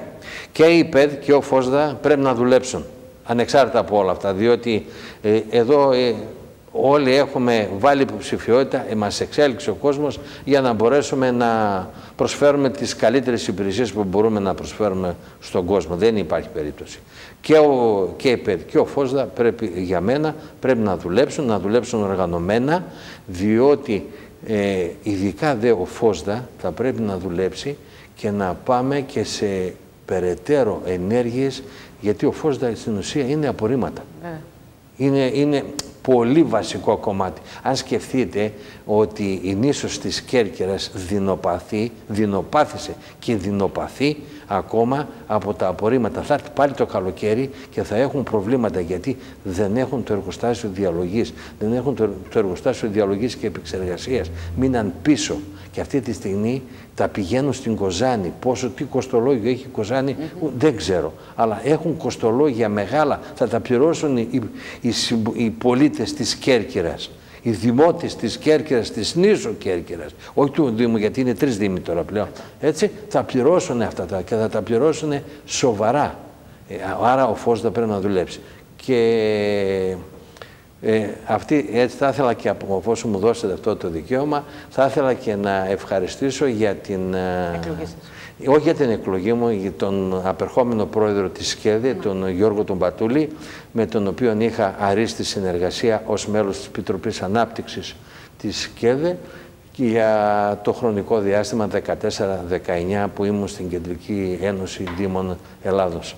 Ε, πιστεύω ότι η θητεία του ήταν πλήρως πετυχημένη και με δύσκολες οικονομικές καταστάσεις. Σίγουρα ε, τα νέα όργανα της τοπικής αυτοδιοίκησης, είτε σε τοπικό είτε σε κεντρικό επίπεδο, κύριε Να δούμε Κοσμά. και ποιος θα είναι ο πρόεδρος της ΚΕΔΕ. Να δούμε ποιος θα είναι ο πρόεδρος της ΚΕΔΕ στις 8, 28 νομίζω. 28 και να δούμε Έχουμε και από εκλογές. τους ε, υπηρώτες υποψηφίους δημάρχους θα έχουμε τουλάχιστον έναν ε, δήμαρχο μέσα στο, στο Διοικητικό Συμβούλιο της ΚΕΔΕ. Παίζει και αυτό, Πιστεύετε; πιστεύω, πιστεύω. Α, Παίζει και αυτό το ρόλο του. Σίγουρα. Ε, εν μέρη. Σίγουρα, εν μέρη. σίγουρα γιατί η αλήθεια είναι ότι η Κεντρική Ένωση Δήμων Ελλάδος και το έχω συζητήσει με αρκετούς αυτοδιοικητικούς, ε, κάπου τον είχε χάσει το δρόμο. Δεν έδινε τη βαρύτητα που θα έπρεπε ενδεχομένως στους περιφερειακούς Δήμους. Θα πρέπει να ακουστεί και η φωνή των περιφερειακών Δήμων, Συμφωνώ. κύριε Κοσμά, γιατί ε, δυστυχώς έχω την ε, εντύπωση ότι τα αιτήματα που φτάναν προς το Υπουργείο από την ΙΚΕΔΕ αφορούσαν κυρίως τους μεγάλους Δήμους. Η Ε, περιφερειακή Δήμη ήταν λίγο πιο Βοήθησε πίσω. όμως και για διάφορα προγράμματα. Σίγουρα. Το Φιλόδημος είναι μια επιτυχία της ΚΕΔΕ και αναπτύχθηκε σε όλους τους Δήμους. Αυτό το οποίο έδωσε μεγάλο, μεγάλη Ελλάδα όμως βάση... δεν είναι μόνο η Αθήνα ή η όχι, Θεσσαλονίκη. όχι φυσικά, όχι φυσικά. ε. Όχι οι τρεις-τέσσερις δήμοι του απόλυτα κέντρου της Ελλάδος, αλλά έ- έδωσε και η ΚΕΔΕ τις βοήθειες. Σας λέω για το Φιλόδημο. Αυτό είναι μια προσπάθεια της ΚΕΔΕ. Εκεί που έγινε μεγάλη προσπάθεια από το απερχόμενο Δημο- Διοικητικό Συμβούλιο της ΚΕΔΕ ήταν ο νόμος τη- των, ε, των Δήμων, της λειτουργίας των Δημοτικών εκλογών και της λειτουργίας των Δήμων, ο οποίος απεδείχθη ότι παρόλο τις προσπάθειες που κάναμε τότε στον κύριο Σκουρλέτη, τον ε, τότε Υπουργό Εσωτερικών, οι οποίες και απέτυχαν και ο νόμος ψηφίστηκε από την προηγούμενη κυβέρνηση, τώρα είδαμε τις, τα, μεγάλα πραγματικά προβλήματα. τα μεγάλα προβλήματα τα οποία έχουν οι Δήμοι στη διοίκηση και τις ε, α- αναγκασμένες συμμαχίες που δημιουργηθήκαν, οι οποίες ε, δ- δεν ξέρω πόσο μπορούν να αποδώσουν ή- ή όχι. Έτσι, αυτές είναι αναλόγως και τα άτομα βεβαίως όλα είναι σχετικά. Θέλω να σας ευχαριστήσω πάρα Να πολύ είστε για την δυνατότητα καλά. που είχαμε να συνομιλήσουμε, κύριε Κοσμά. Έγινε και καλό βράδυ και Να είστε ό,τι το καλά. καλύτερο. Να είστε καλά. Να είστε καλά κι εσείς. Να Γεια σας. συνεχίσουμε, κυρίες και κύριοι, την πρώτη της συνεδρίαση με την νέα του σύνθεση. Πραγματοποίησε σήμερα η διοίκηση της ΠΕΔ Πύρου. Πλην της εκλογής αντιπροσώπων για τις επιτροπές της ΠΕΔ αλλά και της ΚΕΔΕ, συζητήθηκε και το νομοσχέδιο του Υπουργείου Οικονομικών που βρίσκεται σε διαβούλευση και προβλέπει μεταξύ άλλων την διευκόλυνση των Δήμων με αλλαγές στον χρονικό περιορισμό πρόσληψης συμβασιούχων. Τη διευκόλυνση των Δήμων με αλλαγές στον χρονικό περιορισμό πρόσληψης συμβασιούχων επιδιώκει το νομοσχέδιο του Υπουργείου Οικονομικών που βρίσκεται σε διαβούλευση και συζητήθηκε και στη συνεδρίαση του Διοικητικού Συμβουλίου της Περιφερειακής Ένωσης Δήμων Υπήρου. Επρόκειτο για την πρώτη συνεδρίαση της ΠΕΔ με τη νέα της σύνθεση, προκειμένου να εκλεγούν οι αντιπρόσωποι για διάφορες επιτροπές σε τοπικό και κεντρικό επίπεδο. Ναι, σήμερα είναι η πρώτη ουσιαστικά συνεδρίαση του οργάνου και μάλιστα το πρώτο θέμα είναι η, έγκριση, είναι η έγκριση της μετακίνησής μας για το συνέδριο της ΚΕΔΕ οπότε μπορεί κανείς να πει ότι ο κύκλος των αυτοδιοικητικών εκλογών θα κλείσει με την εκλογή των οργάνων στο, ε, στην Κεντρική Ένωση Δήμων Ελλάδος. Πρώτο λοιπόν θέμα σήμερα είναι η έγκριση μετακίνησης των συνέδρων. Ε, στη συνέχεια θα συζητήσουμε θέματα που αφορούν ε, σε επιλογή ε, εκπροσώπων στις επιτροπές που πρέπει να συγκροτηθούν ε, στην περιφέρεια Υπήρου, στην, γενικότερα στην περιφέρεια Υπήρου. Και θα τεθεί εκτός ημερήσιας διάταξης ε, το, ε, η υπόψη του Συμβουλίου το νέο σχέδιο νόμου που σχετίζεται με, το, με τις επιλογές προϊσταμένων και γενικά με θέματα προσωπικού των ΟΤΑ, των αναπτυξιακών εταιριών των ΟΤΑ, καθώς και ζητήματα ε, που σχετίζονται με την διεκπαιρέωση των ε, υποθέσεων των τεχνικών υπηρεσιών των Δήμων. Ένα πάρα πολύ σημαντικό ζήτημα που φαίνεται ότι το Υπουργείο Εσωτερικών ε, έχει ασχοληθεί πολύ σοβαρά και διαφαίνεται επιτέλους ε, στον ορίζοντα η οριστική λύση του προβλήματος, μιας και πέραν των προσλήψεων προσωπικού που έχουν πάρει το δρόμο τους αλλά ποτέ δεν είναι επαρκής φαίνεται ότι θα δίνει τη δυνατότητα στους Δήμους να αναθέτουν, να συνάπτουν συμβάσεις και να αναθέτουν σε αναπτυξιακές εταιρείες ΟΤΑ ε, ζητήματα διεκπαιρέωσης των τεχνικών υπηρεσιών. Είναι ένα πάγιο πρόβλημα της αυτοδιοίκησης, ίσως δεν, στο παρελθόν δεν έχει ε, φανεί τόσο πολύ, το αντιμετωπίζουν οι περισσότεροι δήμοι, ε, σαφώς και ο Δήμος Δοδόνης, αλλά και οι περισσότεροι των μικρών δήμων, ε, όμως ακόμη και οι δήμοι των εδρών και εκείνοι έχουν τέτοια ζητήματα. Βασικό πρόβλημα για τους Δήμους παραμένει η υποχρηματοδότηση, όπως ανέφερε ο Πρόεδρος και Δήμαρχος Δαδόνη Χρήστος Ντακαλέτσης, σημειώνοντας πως επίσης παραμένει η αντίρρηση των ερετών στη μεταφορά των αποθεματικών στην Τράπεζα της Ελλάδος. Μάλιστα, ο Δήμος Δοδόνη, όπως και άλλοι Δήμοι, έχουν προσφύγει κατά της υπουργικής απόφασης. Ε, όπως σας είπα, εντός των επόμενων ημερών θα έχουμε και το νέο Διοικητικό Συμβούλιο της ΚΕΔΕ. Θα πρέπει να υπάρξει ένας εναρμονισμός, ε, μια επικοινωνία και, μια, και ένας συντονισμός στη διεκδίκηση. Σαφώς τα, τα κυρίαρχα ζητήματα της αυτοδιοίκησης ε, είναι τα οικονομικά που με το προηγούμενο διάστημα έχουν μειωθεί περίπου κατά 60% οι, οι κρατικές επιχορηγήσεις. Ε, ζητήματα προσλήψεως προσωπικού, όπως είπα και προηγουμένως, επίσης βασικά θέματα. Ε, και ζητήματα επίσης χρηματοδότησης των ίδιων των περιφερειακών ενώσεων που ε, όλα αυτά τα χρόνια έχουν υποστεί ε, τεράστια μείωση των κονδυλίων ώστε να μην μπορούν να ανταπεξέλθουν στις αρμοδιότητές τους που είναι προγραμματισμένο να υλοποιούν. Αρκεί να σας πω ότι ο Δήμος Δοδόνης έχει καταθέσει ήδη και δεύτερη αίτηση ακυρώσεως επί της ε, υπουργικής απόφασης, με την οποία απλώς δόθηκε μια παράταση. Δεν είναι καθόλου έτσι τα πράγματα. Ε, η στάση είναι ίδια. Πιθανότατα λόγω των διεργασιών για την εκλογή των οργάνων να, της, τόσο των περιφερειακών ενώσεων όσο και της Κεντρικής Ένωσης ε, να φάνηκε ότι ε, μπήκαν λίγο στο περιθώριο. Όχι όμως στην ουσία. Η γραμμή είναι ίδια, η στάση μας είναι ίδια. Όπως είπα προηγουμένως, και άλλοι Δήμοι έχουν καταθέσει αιτήσεις ακυρώσεως κατά της υπουργικής απόφασης. Όμως η, η επίλυση του ζητήματος δεν θα έρθει μέσω των δικαστηρίων. Ποτέ δεν ήμουν υπέρ αυτής της άποψης θα έρθει από την κεντρική κυβέρνηση. Αυτό το ζήτημα λοιπόν είναι επίκαιρο, ε, δεν έχει μπει στο περιθώριο και ούτε έγινε πολιτική σπέκουλα πριν ή τώρα. Η στάση μας θα είναι ίδια. Βεβαίως μπορεί να είναι ε, μνημονιακή δέσμευση, αλλά όλοι πρέπει να σκεφτούμε ότι τα μνημόνια υποτίθεται έχουν τελειώσει. Οπότε δεν έχει αλλάξει τίποτα σε αυτό το ζήτημα. Λοιπόν, πάμε στην τελευταία συζήτηση για απόψε ε, με την υπεύθυνη του τομέα γυναικών και ισότητας της ε, ΝΟΔΕ, την κυρία Σοφία Σιμιτζή, και αφορμή βέβαια την σημερινή ημέρα κατά της ε, βίας των γυναικών. Κυρία Σιμιτζή, καλησπέρα. Ευχαριστώ. Ευχαριστώ πάρα πολύ. Εδώ ε, έτσι για μια συζήτηση, γιατί ε, όλες αυτές τις ημέρες ε, πραγματοποιήθηκαν και διάφορες mm -hmm. εκδηλώσεις. Έχει υπάρξει και μια ανακοίνωση και από την ε, ΝΟΔΕ για αυτήν την ε, ημέρα. Mm Εορτάζουμε λοιπόν μια ημέρα κατά της βίας των γυναικών, χωρίς όμως, όπως συζητούσατε και λέγατε λίγο πριν βγούμε στον αέρα, χωρίς να έχουμε λύσει το πρόβλημα ναι. ουσιαστικά και χωρίς αυτές τις γυναίκες που είναι θύματα βίας και δεν μιλάμε μόνο για σωματική βία, ε, είναι διάφορες οι μορφές της βίας κατά των γυναικών, χωρίς να έχουμε καταφέρει να τις θωρακίσουμε για να μπορέσουν να σπάσουν και τη σιωπή τους κιόλας. Ε, ναι, το αναφέρω. Ευχαριστώ πάρα πολύ για το βήμα που μας δίνετε, όχι μόνο για την επέτειο, αλλά και ως γυναίκα προς γυναίκα, αλλά και σε κάθε περίπτωση ε, τη δυνατότητα να ακουστούν μερικά πράγματα, καθώς επίσης και σε όλους τους ε, τηλεθεατές και κυρίως τις τηλεθεάτριες. Ε, όντως έχουμε μια επαιτειακή παρουσία σήμερα, ωστόσο το ζήτημα είναι διαρκώς επίκαιρο και οπωσδήποτε διαχρονικό, μολονότι υπόκειται σε πολλές επιδραστικές επιρροές από την κοινωνική και πολιτική, αλλά κυρίως οικονομική πραγματικότητα που δυναμητίζει έτσι περαιτέρω το ζήτημα της ε, βίας, η οποία είναι πολυμορφικό φαινόμενο. Δεν έχουμε μόνο πλέον σωματική βία, έχουμε και ψυχολογική βία, έχουμε και σεξουαλική βία και πολλών ειδών βία, βίας. Εκείνο που θα ήθελα να αναφέρω είναι ότι βεβαίως όπως περισσότερο για να το γνωρίζουν και οι τηλεθεατές ότι η επαιτειακή παρουσία μας είναι για την 25η του Νοέμβρη, την ε, ημέρα που επέλεξε ο Οργανισμός Ηνωμένων Εθνών σε διάσκεψή του ε, από το 1991 που και ορτάζουμε, τιμάμε το γεγονός ε, της ε, ανάκτησης δι, της δυναμικής προκειμένου για την εξάλληψη της βίας κατά των γυναικών. Φυσικά, ε, και ο χώρος από τον οποίο, στον οποίο στηριζόμαστε, τη Νέα Δημοκρατία έχει προχωρήσει ε, πολλαπλά στο ζήτημα αυτό. Ήδη ε, στα πλαίσια της επαιτειακής αυτής μνήμης έχουμε στα, και στο πλαίσιο του 13ου συνεδρίου το Σάββατο 30 Νοεμβρίου και ώρα 8 διοργανώνει νυχτερινό αγώνα τα έσοδα των, του οποίου θα δοθούν στην εκστρατεία για την εξάλληψη της βίας. Είναι βεβαίως η Γραμματεία Οικογενειακής Πολιτικής και Ισότητας Φύλων. Αυτά είναι οι μετοπίδες δράσεων σε κάθε περίπτωση της Νέας Δημοκρατίας, αλλά οπωσδήποτε προωθεί το ζήτημα ε, της ανάπτυξης της κοινωνικής συνοχής, της εξάλληψης της ανισότητας, της ευρείας συμμετοχής των γυναικών, της ποσόστασης και και στα πολιτικά δρόμενα, καθώς επίσης ε, και ε, στην έμφαση, μάλιστα επειδή είναι πρόσφατη η μνήμη και το βίωμα των εκλογών, είχαμε και μία αναδιάρθρωση στην Δημοκρατία πλήρως του Μητρώου των ε, πολιτικών στελεχών με εστιακή αναφορά στην παρουσία και την δράση των γυναικών.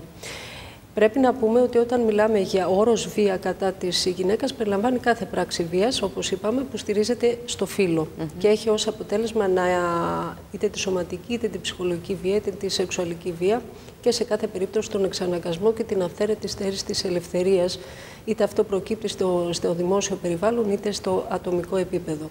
Όταν μιλάμε για βία, Μιλάμε βέβαια για βία ενδοοικογενειακή και αυτό είναι ιδιαίτερα σημαντικό και οπωσδήποτε ε, είναι ένα έντονο συμβάν και στην περιφέρεια της Ελλάδας, πολύ παραπάνω επειδή τα, τα περιβάλλοντα είναι μικρά και οι αναγνώσεις του ζητήματος περισσότερο εύκολες. Ε, καθώς επίσης υπάρχει και βία μέσα στην κοινωνία, ο βιασμός, σεξουαλική ε, κακοποίηση, σεξουαλική παρενόχληση, το γνωστό trafficking που χρησιμοποιεί είναι ο όρος, είναι η σωματεμπορία. Αλλά υπάρχει και κάτι καινούριο το οποίο βρήθη και αγγίζει πολλαπλά τους νέους, είναι το περίφημο stalking. Δηλαδή όταν υπάρχει εξαναγκασμός, ε, απροκάλυπτες συμπεριφορές, χωρίς όμως να είναι εμφανείς, να έχουν το χαρακτηριστικό της τυπικής βίας. Όταν κάποιος παραδείγματος χάρη δέχεται πολλαπλά απλά ηλεκτρονικά μηνύματα ή αισθάνεται ότι παρακολουθείτε. Όλα αυτά όμως εντάσσονται πλέον στον ποινικό κώδικα και ο, κάθε γυναίκα οφείλει και κάθε γυναίκα η οποία είναι παρατηρητής και σε εισαγωγικά μερόληπτος παρατηρητής οφείλει να αναφέρει τα περιστατικά αυτά στις αρχές και να μην ε, μείνουν ε, και καλυμμένα. Ένα άλλο σημαντικό στοιχείο που θα ήθελα να καταθέσω στην ε, συζήτησή μας και μου έκανε και σε μένα ιδιαίτερη εντύπωση είναι ότι στις γυναίκες αναπαραγωγικής ηλικίας από 16 έως 44 περίπου ετών σε ολόκληρο τον αναπτυγμένο κόσμο, ότι μιλάμε για την Ασία ή την Αφρικανική Ήπειρο που είναι πολλαπλά τα ζητήματα, ε, αλλά ειδικά στην, ε, στην Ευρώπη είναι το μείζον πρόβλημα αναπηρίας και θανάτου ε, των γυναικών από, ή των, από συντρόφους, συζύγους κτλ. Οι γυναίκες υπόκειται δηλαδή σε πολλαπλή βία που τους στερεί και την ίδια τους τη ζωή. Στην Ελλάδα σήμερα από τις αρχές του, του 19 έχουμε 8 γυναικοκτονίες, καταγεγραμμένες τουλάχιστον. Ε, είναι ο γνωστός όρος ε, της γυναικοκτονίας που εμφανίζεται, είναι ο όρος femicide. Στα, στα αγγλικά έχει εμφανιστεί ήδη από το 1976 όταν υπάρχουν κλιματολογικές ε, καταγραφές. Είναι γνωστή η κλιματολόγος η Diana Russell η οποία ασχολήθηκε με το ζήτημα αυτό της γυναικοκτονίας και λίγο αργότερα αποκτά μεγαλύτερη αίσθηση με ένα ευρέως γνωστό στην Αμερική βιβλίο το οποίο υιοθετήθηκε και στην ε, Ευρώπη η ανάγνωσή του το Femicide, The Politics of, Human, of Woman Killing. ε, Όλα αυτά ακούγονται με ένα ακαδημαϊκά, αλλά θα τα, ε, θα τα εδραιώσουμε και σε ένα α, ε, απλουστευμένο επίπεδο, περισσότερο ε, ικανό προς ανάγνωση για όλους εμάς. Όταν μιλάμε χαρακτηριστικά ή περιπτώσεις, όταν μιλούσαμε και μιλάμε για εγκλήματα τιμής ή όταν αργότερα έχουμε υιοθετούμε τον όρο έγκλημα πάθους, είναι ουσιαστικά γυναικοκτονίες. Είναι έμφυλος βία η οποία στρέφεται και αφαιρεί τη ζωή των γυναικών. Αυτό δεν, ε, δεν, μπορεί, δεν μπορεί κανείς να εφησυχάζει, όχι μόνο ως γυναίκες, αλλά και ως ε, ε, πολίτες μιας κοινωνικής πραγματικότητας, η οποία έχει ε, πλέον ένα φάσμα ζητημάτων και έντονη βία. Οι οικογένειες οι οποίες ε, βιώνουν περιστατικά βίας σε καθημερινή βάση που μπορεί να είναι απλοϊκού χαρακτήρα, μπορεί να, μπορεί να είναι χαρακτηριστική περίπτωση ο πλήρης έλεγχος ο οικονομικός της γυναίκας από τον σύζυγο ή τον σύντροφο. Η περιθωριοποίησή της, η στεχανοποίηση των επαφών της, όλα αυτά είναι στατικά βίας. Πρέπει να πούμε στις γυναίκες που μας παρακολουθούν, οι οποίες πολλές είναι μητέρες ή, ή είναι νέες γυναίκες και σε κάθε περίπτωση είναι άνθρωποι ε, όπως όλοι μας, ε, στην καθημερινότητά τους και στην κανονικότητά τους, ότι δεν πρέπει να σιωπούν. ε, Αυτό είναι το... Δεν ξέρω πώς θα μπορέσουμε να ξεκλειδώσουμε, να βρούμε το κλειδί και να ξεκλειδώσουμε ουσιαστικά αυτή τη σιωπή, κυρία mm Σιμιτζή, γιατί μην ξεχνάμε, όπως είπατε και εσείς, είναι ε, σίγουρα οι γυναίκες, οι γυναίκες όμως που μέσα σε ένα οικογενειακό περιβάλλον ε, έχουν την ευθύνη και παιδιών. Και εκεί σίγουρα τα πράγματα δυσκολεύουν ακόμη περισσότερο και εκεί ενδεχομένως είναι που τις κάνει να σιωπούν ακόμη περισσότερο Ακριβώς. υπό το φόβο Ακρι- μήπως υπάρξουν επιπτώσεις και στα ίδια τους τα παιδιά, έτσι. Αυτό είναι σημαντικό όπως το αναφέρετε και αυτό, αυτή η, φιλι- ο φιλίποπτος σιωπηρός βίος ο, σε, αυτή το, σε αυτό το σύντομο πέρασμα από το βίο όλων μας που πολλοί άνθρωποι α, α, και ειδικά οι γυναίκες φοβούμενες ε, τα επακόλουθα ή το στίγμα ή ε, σε κάθε περίπτωση τη δυνα- δυνατότητα συντήρησης του εαυτού τους σιωπούν και αντιμετωπίζουν ε, αυτήν ε, την ε, κατάσταση σε καθημερινή ε, συνθήκη ε, ζωής. Με αποτέλεσμα να έχει πολλαπλά επίπεδα ε, επιρροής και επιδραστικής ε, καταδίκης και στα παιδιά τους.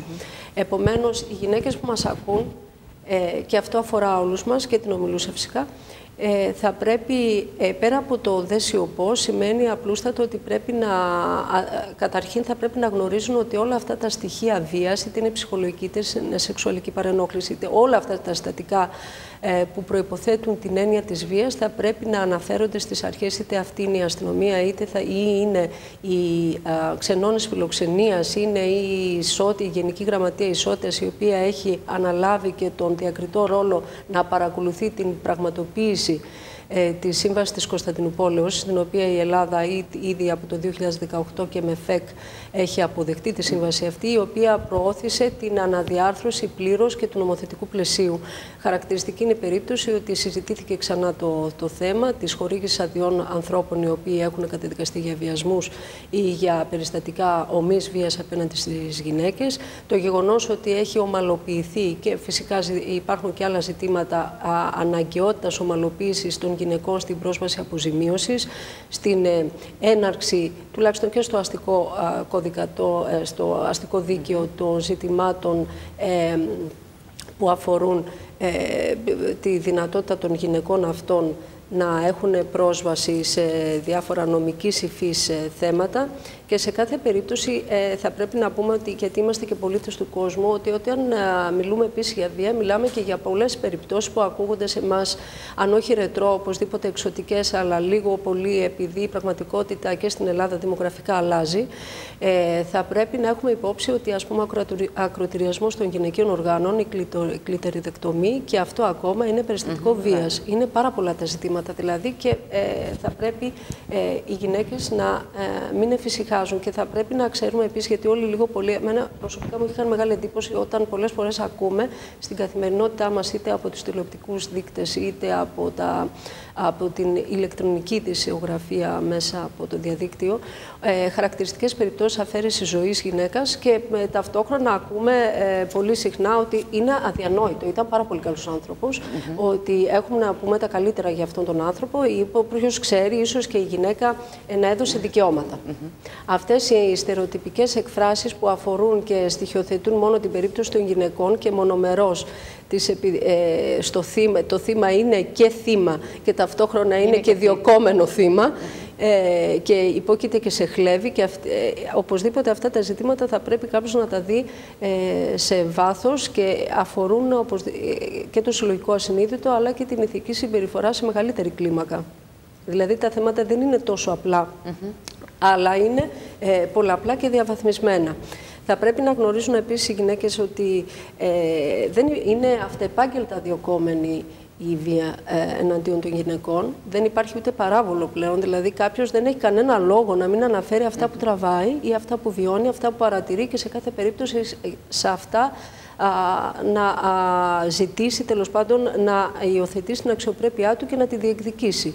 Η- Και η, η- η Ελλάδα είναι μια ευνομούμενη χώρα ως προς αυτό και το νομοθετικό της πλαίσιο είναι σε πολλά επίπεδα επικαιροποιημένο. Φυσικά υπάρχουν πράγματα να γίνουν, αλλά και εμείς σε εισαγωγικά και εκτός είμαστε συνένοχοι σε αυτήν την ιστορική την διαδρομή της βίας. Δεν πρέπει. Για το ότι δεν μιλάμε και εμείς πολλές Και δεν φορές. μιλάμε και εμείς. Δεν μιλάμε και εμείς. Ε, ναι, είναι, σίγουρα είναι ένα ζήτημα το οποίο έχει τις δικές του ιδιαίτερες πτυχές, είναι η Ναι, αλήθεια, βεβαίως. κυρία Σιμιτζή, γιατί όλοι θα σκεφτούμε ότι δεν έχουμε κανένα λόγο να αναμειχθούμε σε μια υπόθεση που αφορά μια άλλη οικογένεια με τους οποίους δεν έχουμε καν μια φιλική σχέση. Απλά ε, είμαστε συγκάτοικοι, για παράδειγμα, σε μια πολυκατοικία, οπότε Βεβαίως. γιατί μας πέφτει λόγος να πάρουμε την αστυνομία ναι, ή μπορεί να το κάνουμε, ε, ξέρετε, και η γυναίκα ακριβώς χιωπώντα να μην, ακόμη και όταν θα υπάρξει η αντίδραση της α, πολιτείας, ε, σας έφυγε το μικρόφωνο. Ναι. Ε, ακόμη και όταν θα υπάρξει, για παράδειγμα, η παρέμβαση της αστυνομίας, ε, η γυναίκα μπορεί να σιωπήσει, να μην ουσιαστικά ε, πει ότι ναι, να το παραδεχτεί ότι ναι, εγώ βιώνω αυτό που βιώνω. Άρα αυτόματα αυτό μας ε, βάζει στη διαδικασία να πούμε ότι γιατί να ξαναμπλεχτώ, το έκανα μία φορά, οπότε δεν θα ασχοληθώ ε, την επόμενη φορά. Ε, αν ακούσω κάτι που όντως χρειάζεται να ζητήσω την παρέμβαση των αρμοδίων αρχών και αυτό είναι μία λυσίδα που σίγουρα λειτουργεί αρνητικά σε όλο αυτό το ζήτημα, στο να μπορέσει να βρεθεί, να πιάσουμε την άκρη του νήματος και να φτάσουν τα πράγματα εκεί που θα πρέπει να, να υπάρξουν.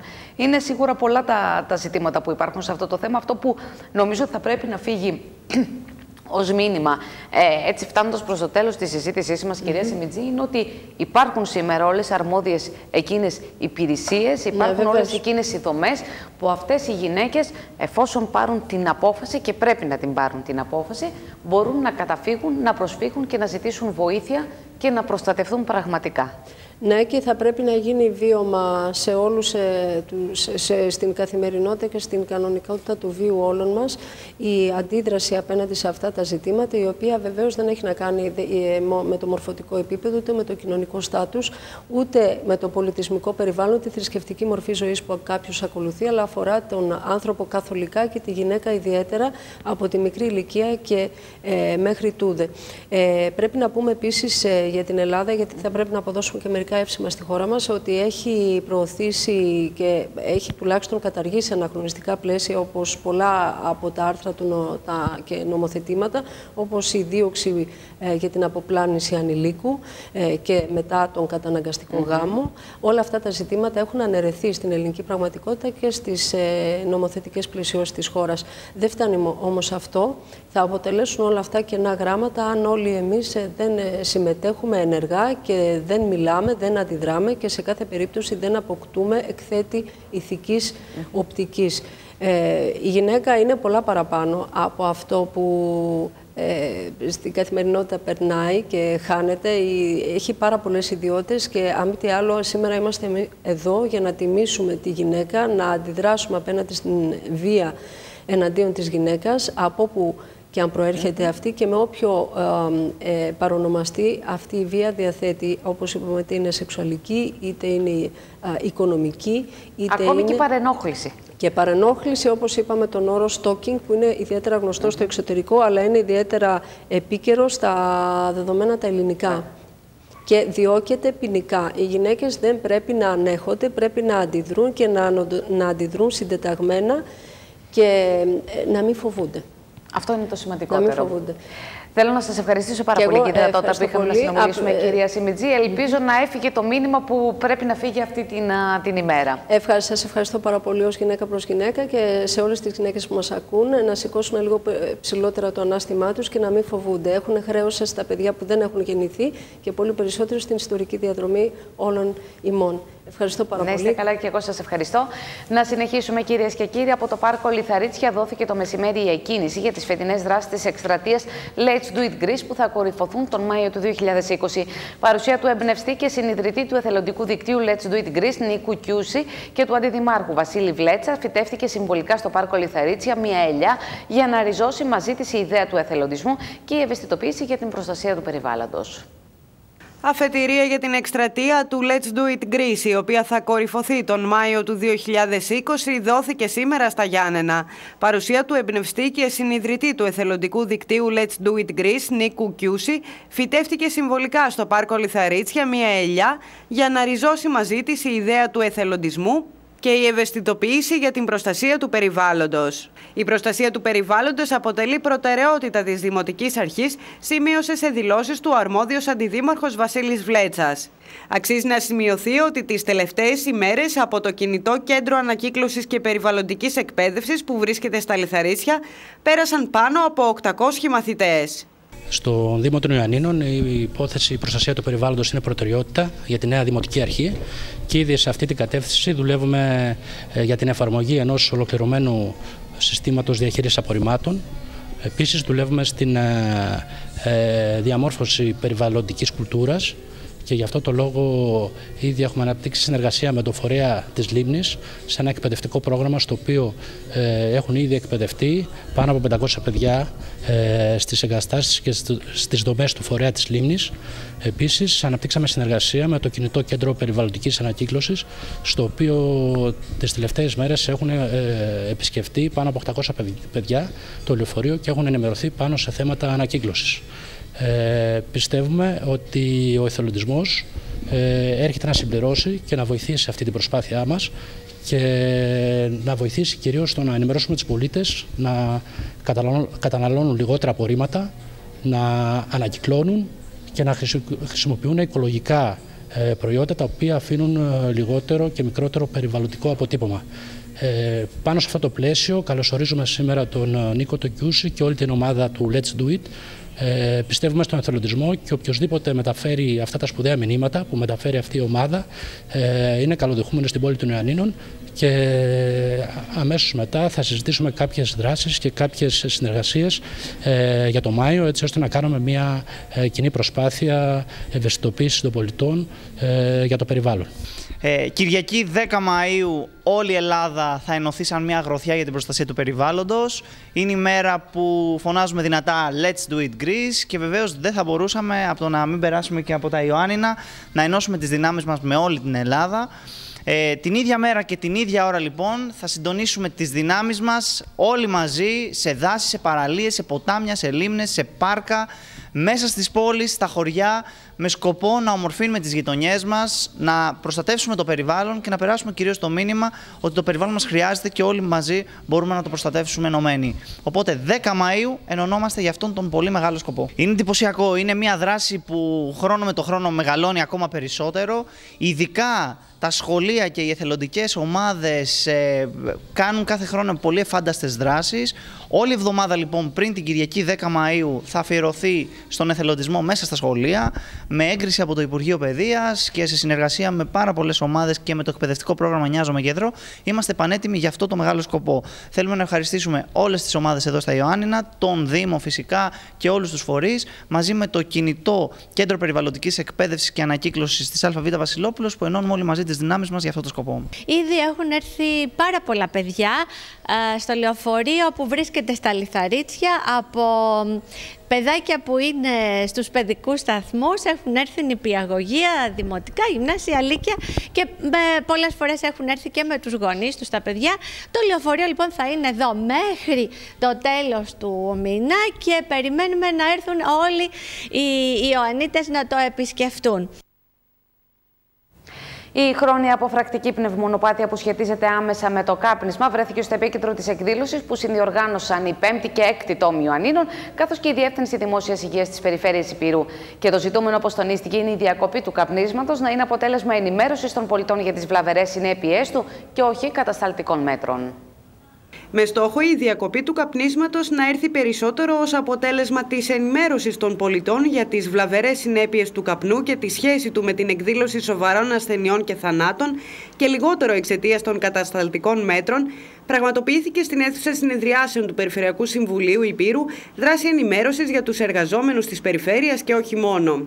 Η 5η Τόμιο Ιωαννίνων, σε συνεργασία με την 6η Τόμιο Ιωαννίνων και τη Διεύθυνση Δημόσιας Υγείας της Περιφέρειας, με την υποστήριξη του Συλλόγου Συλλόγου Εργαζομένων της Περιφέρειας διοργάνωσαν την εκδήλωση με θέμα Χρόνια από φρακτική πνευμονοπάθεια και κάπνισμα. Α δώσουμε όλοι μαζί ένα τέλος, με αφορμή την Παγκόσμια ημέρα ΧΑΠ που γιορτάζεται στις 21 Νοεμβρίου. Σύμφωνα και με οδηγία του Υπουργείου Υγείας, όπως ανέφερε ο προϊστάμενος του Κέντρου Υγείας Ιωαννίνων Κώστας Φώτος, για την καταπολέμηση του φαινομένου της εξάρτησης από το κάπνισμα, βασικός πυλώνας είναι ο τομέας της πρόληψης μέσω της ενημέρωσης και της ευαισθητοποίησης του κοινωνικού συνόλου, καθώς και ο ευάλωτων ομάδων του πληθυσμού σχετικά με τις βλαβερές επιπτώσεις του καπνίσματος. Ναι, η σημερινή εκδήλωση είναι μέσα στα πλαίσια της ενημέρωσης του κοινού που ανέλαβε η πέμπτη και έκτη τόμη σε συνεργασία με την Διεύθυνση Υγείας Περιφέρειας Υπήρου έτσι ώστε να ενημερωθεί ο πληθυσμός, οι εργαζόμενοι και εμείς σχετικά με τις βλαπτικές επιδράσεις του καπνού. Είναι γνωστό ότι είναι σε εφαρμογή ο αντικαπνιστικός νόμος, είναι πρώτη προτεραιότητα του Υπουργείου Υγείας. Ξέρετε το Υπουργείο Υγείας δεν είναι κατασταλτικό όργανο, ε, το πρώτο πράγμα είναι η ενημέρωση και γενικότερα ε, και σαν άνθρωπος και σαν πολιτική σκέφτομαι ότι καλύτερα είναι ε, να συμμορφώνεται κάποιος επειδή γνωρίζει τις βλαβερές συνήθειες του καπνού παρά σαν καταστατικό μέτρο ή τιμωρητικό μέτρο. Ε, γι' αυτό και η σημερινή εκδήλωση περισσότερο έχει να γνωρίσει τις πολύ βλαβερές συνέπειες του καπνού γενικότερα στην υγεία και ειδικότερα στο αναπνευστικό. Το νόημα είναι ε, να μην ενοχοποιήσουμε τους καπνιστές, αλλά να ενοχοποιήσουμε τον καπνό και ο καθένας μας να καταλάβει ότι το κάπνισμα βλάπτει στοβαρά την υγεία. Ε, μεγάλες επιπτώσεις παγκοσμίως ε, και θανάτους και μεγάλο κόστος στη δημόσια υγεία από τις επιπτώσεις του καπνίσματος, έτσι. Τώρα πια είναι τεκμηριωμένο ότι το κάπνισμα ε, προδιαθέτει σε πάρα πολλές νόσους, ε, κύρια σε κακοήθειες και στα καρδιακιακά. Ε, αυτό το πράγμα έχει φοβαρές συνέπειες για τον ασθενή με επιπλοκές με κύρια το θάνατο, στην νοσηρότητα, όπως επίσης και την επιβάρυνση στα ασφαλιστικά ταμεία και στην οικονομία του κράτους. Περίπου το 80 με 90% των κρουσμάτων της ασθένειας της χρόνιας αποφρακτικής πνευμονοπάθειας προκαλούνται από το κάπνισμα τσιγάρων καθώς και νεότερων σκευασμάτων χρήσης της νοικοτήνης και του καπνού. Οι ομιλίες αφορούσαν επίσης τις αιτίες, τη διάγνωση και τη διαχείριση της ΧΑΠ, καθώς και το κάπνισμα στην εφηβεία. Στον κόσμο πάσχουν γύρω στα 210 εκατομμύρια άνθρωποι από χρόνια αποφρακτική πνευμονοπάθεια. Στην Ευρώπη σημειώνονται 300.000 θάνατοι κάθε χρόνο, που ισοδυναμεί με τρεις βόμβες στη Χειροσύμα. Το 8,4% του πληθυσμού άνω των 35 ετών, δηλαδή περίπου 1 εκατομμύριο Έλληνες, πάσχουν από ΧΑΠ και είναι η τέταρτη κυριότερη αιτία θανάτου παγκοσμίως σήμερα και προβλέπεται να γίνει η τρίτη αιτία θανάτου το 2030. Ε, και είναι η μόνη αιτία θανάτου, τις οποίες τα ποσοστά συνεχώς αυξάνονται. Ποια είναι τα συμπτώματα τώρα; Τα συμπτώματα είναι ο βήχας, η απόχρεμψη, η δύσπνοια, η εύκολη κόποση και τα συχνά κρυολογήματα και λοιμώξη του αναπνευστικού. Και ποιοι είναι οι παράγοντες κινδύνου; Ο πρώτος και κυριότερος είναι το κάπνισμα που προκαλεί και το 80 με 90% περίπου των περιστατικών της χρόνιας αποφρατικής πνευμονοπάθειας. Ε, μετά είναι η εσωτερική ρήπανση του αέρα και εδώ θα ήθελα να πω ότι σχεδόν 3 δισεκατομμύρια άνθρωποι σε όλο τον κόσμο χρησιμοποιούν βιομάζα και κάρβουνο ως κύρια πηγή ενέργειας για το μαγείρεμα, για τη θέρμανση και για άλλες ανάγκες του νοικοκυριού και σε αυτές τις κοινότητες η εσωτερική ατμοσφαιρική ρήπανση αποτελεί μεγαλύτερο ρίσκο εμφάνισης ΧΑΠ από ότι το κάπνισμα και η ατμοσφαιρική ρήπανση. Και εκτιμάται ότι σκοτώνει γύρω στα 2 εκατομμύρια γυναίκες και παιδιά κάθε χρόνο. Μετά είναι η ατμοσφαιρική ρήπανση, τα μικροσωματίδια κυρίως των αστικών, ε, των αστικών περιοχών, ε, όπου επιβαρύνουν πάρα πολύ τη μνημονική λειτουργία, οι επαγγελματικές σκόνες και τα χημικά, και οι συχνές λοιμώξεις του κατώτερου αναπνευστικού συστήματος κατά την παιδική ηλικία. Στις κάλπες για την ανάδειξη νέας διοίκησης στον Εμπορικό Σύλλογο Ιωαννίνων θα προσέλθει δεύτερο εμπορικός κόσμος της πόλης. Στις εκλογές συμμετέχει μόνο μία παράταξη, η αγωνιστική συνεργασία αυτοαπασχολούμενων και μικρών εμπόρων, που έχει και σήμερα την διοίκηση του Συλλόγου και έτσι ο μοναδικός της αντίπαλος είναι η συμμετοχή.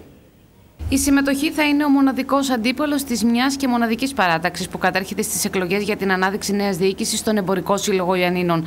Ο εμπορικός κόσμος θα προσέλθει στις κάλπες την ερχόμενη Τετάρτη, ενώ στις εκλογές θα συμμετάσχει μόνο το ψηφοδέλτιο της αγωνιστικής συνεργασίας αυτοαπασχολούμενων και μικρών εμπόρων, καθώς παρά τις προσπάθειες που έγιναν δεν κατέστη εφικτή συγκρότηση άλλου συνδυασμού. Κάλεσμα στους εμπόρους των Ιαννίνων να συμμετάσχουν μαζικά στις εκλογές της Τετάρτης απίφθινε η απερχόμενη πρόεδρος και εκ νέου υποψήφια Αθηνάς Σπύρου, κάνοντας και έναν απολογισμό της αγωνιστικής δράσης της διοίκησης κατά την θητεία που ολοκληρώνεται. Την Τετάρτη, στις 27 του Νοεμβρίου, πραγματοποιούνται οι εκλογές του Εμπορικού Συλλόγου Ιωαννίνων, οι οποίες θα γίνουν στο ξενοδοχείο Παλάδιο, ξεκινώντας από τις 9 το πρωί μέχρι και τις 8 το βράδυ. Οι εκλογές πραγματοποιούνται σε μια περίοδο όπου έχουμε περάσει στη βιώσιμη ανάπτυξη της κυβέρνησης της Νέας Δημοκρατίας μετά τη δίκη του ΣΥΡΙΖΑ και οι δυσκολίες για μας τους αυτοαπασχολούμενους και μικρούς εμπόρους συνεχίζονται. Η φορολογία μας παραμένει ληστρική και δεν θα πρέπει να υπάρξει στους συναδέλφους κανένας εφησυχασμός με τις εξαγγελίες για τη μείωση των φορολογικών συντελεστών, αφού ήδη ο νέος προϋπολογισμός της κυβέρνησης αποδεικνύει ότι πάλι εμείς, μαζί με τα υπόλοιπα λαϊκά στρώματα, με τον έναν ή τον άλλο τρόπο θα πληρώσουμε το σύνολο των φορολογικών εσόδων. Πάλι κερδισμένοι θα είναι οι μεγαλοεπιχειρηματίες, στους οποίους και μείωση φορολογικών συντελεστών ε, θα έχουν και μείωση στο μισό του φόρου των μερισμάτων και αναπτυξιακά κίνητρα. Οι 120 δόσεις, οι οποίες έχουν προβληθεί σαν διέξοδος για τα συσσωρευμένα χρέη των συναδέλφων, όσες από αυτές δεν θα μπορέσουν να τηρηθούν, οι, οι πληστηριασμοί παραμονεύουν και οι κατασχέσεις λογαριασμών. Παράλληλα, πατώντας στο έδαφος που η προηγούμενη κυβέρνηση έχει στρώσει, η κυβέρνηση της Νέας Δημοκρατίας προχωράει με τη βούλα στην ιδιωτικοποίηση της κοινωνικής ασφάλισης. Καλούμε τους συναδέλφους να μην δείξουν καμία αναμονή, καμία ανοχή. Ε, η κυβέρνηση και η αντιπολίτευση, παλιοί και νέοι θειασότες της ανταγωνιστικότητας και του ευρωμονόδρομου τσακώνονται για τις ανάγκες των μεγάλων επιχειρήσεων. Και οι δύο μας καλούν να παρετηθούμε μαζί με τους κάθε λογείς κυβερνητικούς συνδικαλιστές, μας καλούν να παρετηθούμε από τις δίκαιες διεκδικήσεις μας για αφορολόγητο, αξιοπρεπή συντάξεις παροχές για ζωή με δικαιώματα. Στόχος τους είναι η παραπέρα ενίσχυση των μεγάλων επιχειρήσεων και η μεταφορά του τζίρου από τις μικρές σε αυτές. Καλούμε τους συναδέλφους απέναντι σε αυτήν την αντιλαϊκή πολιτική να ακολουθήσουν τη μοναδική διέξοδο, τον οργανωμένο αγώνα, και όπως και τα προηγούμενα τρία χρόνια στο τιμόνι του Εμπορικού Συλλόγου Ιωαννίνων, η αγωνιστική συνεργασία εμπόρων, προσπαθήσαμε να οργανώσουμε τους συναδέλφους, να μαζικοποιήσουμε το Σύλλογο, να παλέψουμε για αιτήματα που απαντούν στην καθημερινή μας επιβίωση, να ισχυροποιήσουμε τη συμμαχία μας με τους εργαζόμενους και τους αγρότες. Οργανώσαμε κινητοποίησεις για το φορολογικό, το ασφαλιστικό, ε, κάναμε συσκέψεις για τους πληστηριασμούς. Ε, παράλληλα, με παραστάσεις στην περιφέρεια, ε, εμποδίσαμε την επέκταση των προσφορών αλλά και την προσθήκη και άλλων Κυριακών στη διάρκεια του έτους, καθώς εμποδίσαμε και στην πιλωτική, την πιλωτική εφαρμογή των 32 Κυριακών κατά τη λεγόμενη τουριστική σεζόν. Σε αυτή την κατεύθυνση καλούμε τους συναδέλφους να στηρίξουν και πάλι την αγωνιστική συνεργασία εμπόρων, ε, ούτως ώστε να δυναμώσει ο Σύλλογος να εντείνουμε τον αγώνα μας σε αυτό το δρόμο, ούτως ώστε οι δράσεις μας να είναι και πιο δυναμικές και από κοινού με, τα υπόλοιπα, με τους υπόλοιπους επαγγελματίες να δημιουργήσουμε τριγμούς ε, ενάντια στην ε, πολιτική που εκφράζει τα μονοπόλια. Τους υποψηφίους του συνδυασμού παρουσίασε ο κύριος Γιώργος Πραμαντιώτης. Ψηφοδέλτιο της αγωνιστικής συνεργασίας αυτοαπασχολούμενων και μικρών εμπόρων συμμετέχουν και στηρίζουν η Παπαφράγκο Ελπίδα, Φίλης Διονύσης, Σπύρου Αθηνά, Πραματιώτης Γιώργος, Μακρύς Γιώργος, Ζαχαριάδη Δήμητρα, Καρβούνης Κωνσταντίνος, Γκίζα Ευαγγελία, Κέσκου Φωτεινή, Καζάζης Αλέξανδρος, Κιωσέ Ελένη, Βλάχος Ευάγγελος, Λέτσιος Δημήτριος, Μεντή Ζαχαρούλα, Φαρμάκη Ισμήνη. Σε εξέλιξη βρίσκονται από σήμερα οι εκλογές για την ανάδειξη νέας διοίκησης και στο Συνδικάτο Οικοδόμου και Συναφών Επαγγελμάτων Ομού Ιωαννίνων. Οι εκλογές θα ολοκληρωθούν την Παρασκευή και στόχος είναι η μεγαλύτερη δυνατή συμμετοχή του κλάδου για ένα δυνατό και διεκδικητικό σωματείο. Ξεκίνησαν από σήμερα και θα ολοκληρωθούν την Παρασκευή οι εκλογές στο Συνδικάτο Οικοδόμων και Συναφών Επαγγελμάτων του Νομού Ιωαννίνων. Κάλεσμα στα μέλη του Συνδικάτου να συμμετέχουν απίφθινε ο απερχόμενος πρόεδρος Θανάσης Νάκος, τονίζοντας πως η συμμετοχή θα δώσει τη δυνατότητα μεγαλύτερων διεκδικήσεων, ενώ αναφέρθηκε και στις επιπτώσεις της κρίσης στον κατασκευαστικό κλάδο. Ξεκινάμε σήμερα τις εκλογές του Συνδικάτου Οικοδόμων και Συναφών Επαγγελμάτων Νομού Ιωαννίνων. Να πούμε λίγο τις ώρες. Σήμερα ξεκινάμε από τις 3 η ώρα το μεσημέρι μέχρι τις 9 το βράδυ και την Τρίτη, την Τετάρτη, την Πέμπτη και την Παρασκευή από τις 1 η ώρα το μεσημέρι μέχρι τις 9 η ώρα το βράδυ. Καλούμε όλους τους συναδέλφους να έρθουν να ψηφίσουν ώστε να δυναμώσει το Συνδικάτο, ώστε να μπορούμε από καλύτερη θέση να διεκδικήσουμε καλύτερες εργασιακές συνθήκες και καλύτερη ζωή. Βλέπουμε τι γίνεται με την κοινωνική ασφάλιση. Όλες οι κυβερνήσεις όλα τα χρόνια μας χτυπάνε. Ο κλάδος των κατασκευών όλα τα χρόνια της καπιταλιστικής κρίσης είχε την πιο μεγάλη, ε, το πιο μεγάλο χτύπημα. Χτυπήθηκε όσο κανένας άλλος.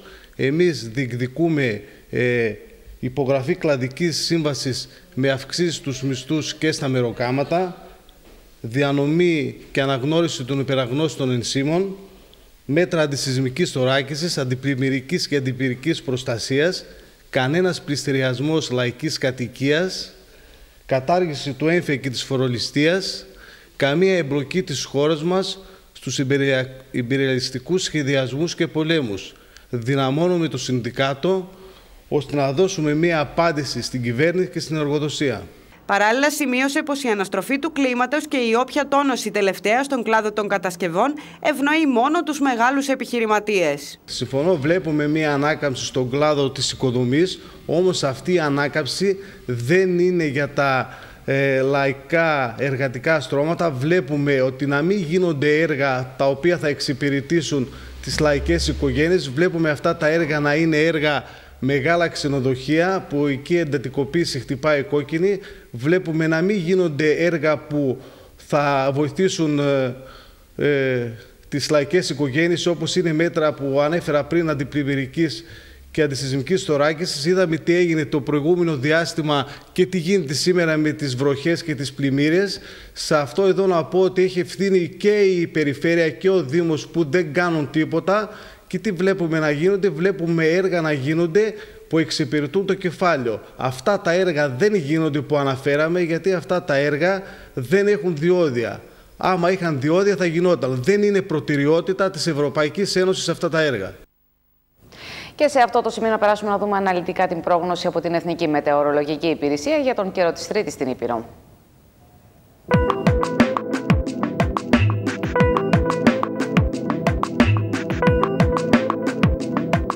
Βελτιώνονται σταδιακά οι καιρικές ενδίκε από απόψε στην Ήπειρο.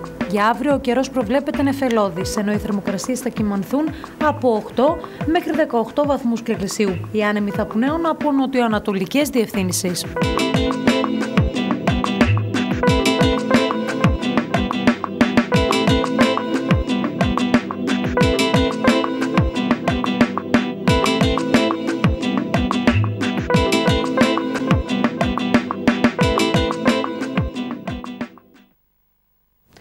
Στο σημείο αυτό, κυρίες και κύριοι, ολοκληρώθηκε το κεντρικό δελτίο ειδήσεων από το Ήπειρο στη Βιέννα. Εσείς μείνετε συντονισμένοι για την αθλητική σας ενημέρωση, καθώς ακολουθεί η εκπομπή στον παλμό του Έραση Τεχνικού. Από όλους εμάς, δημοσιογράφους και τεχνικούς, ευχές για ένα όμορφο βράδυ.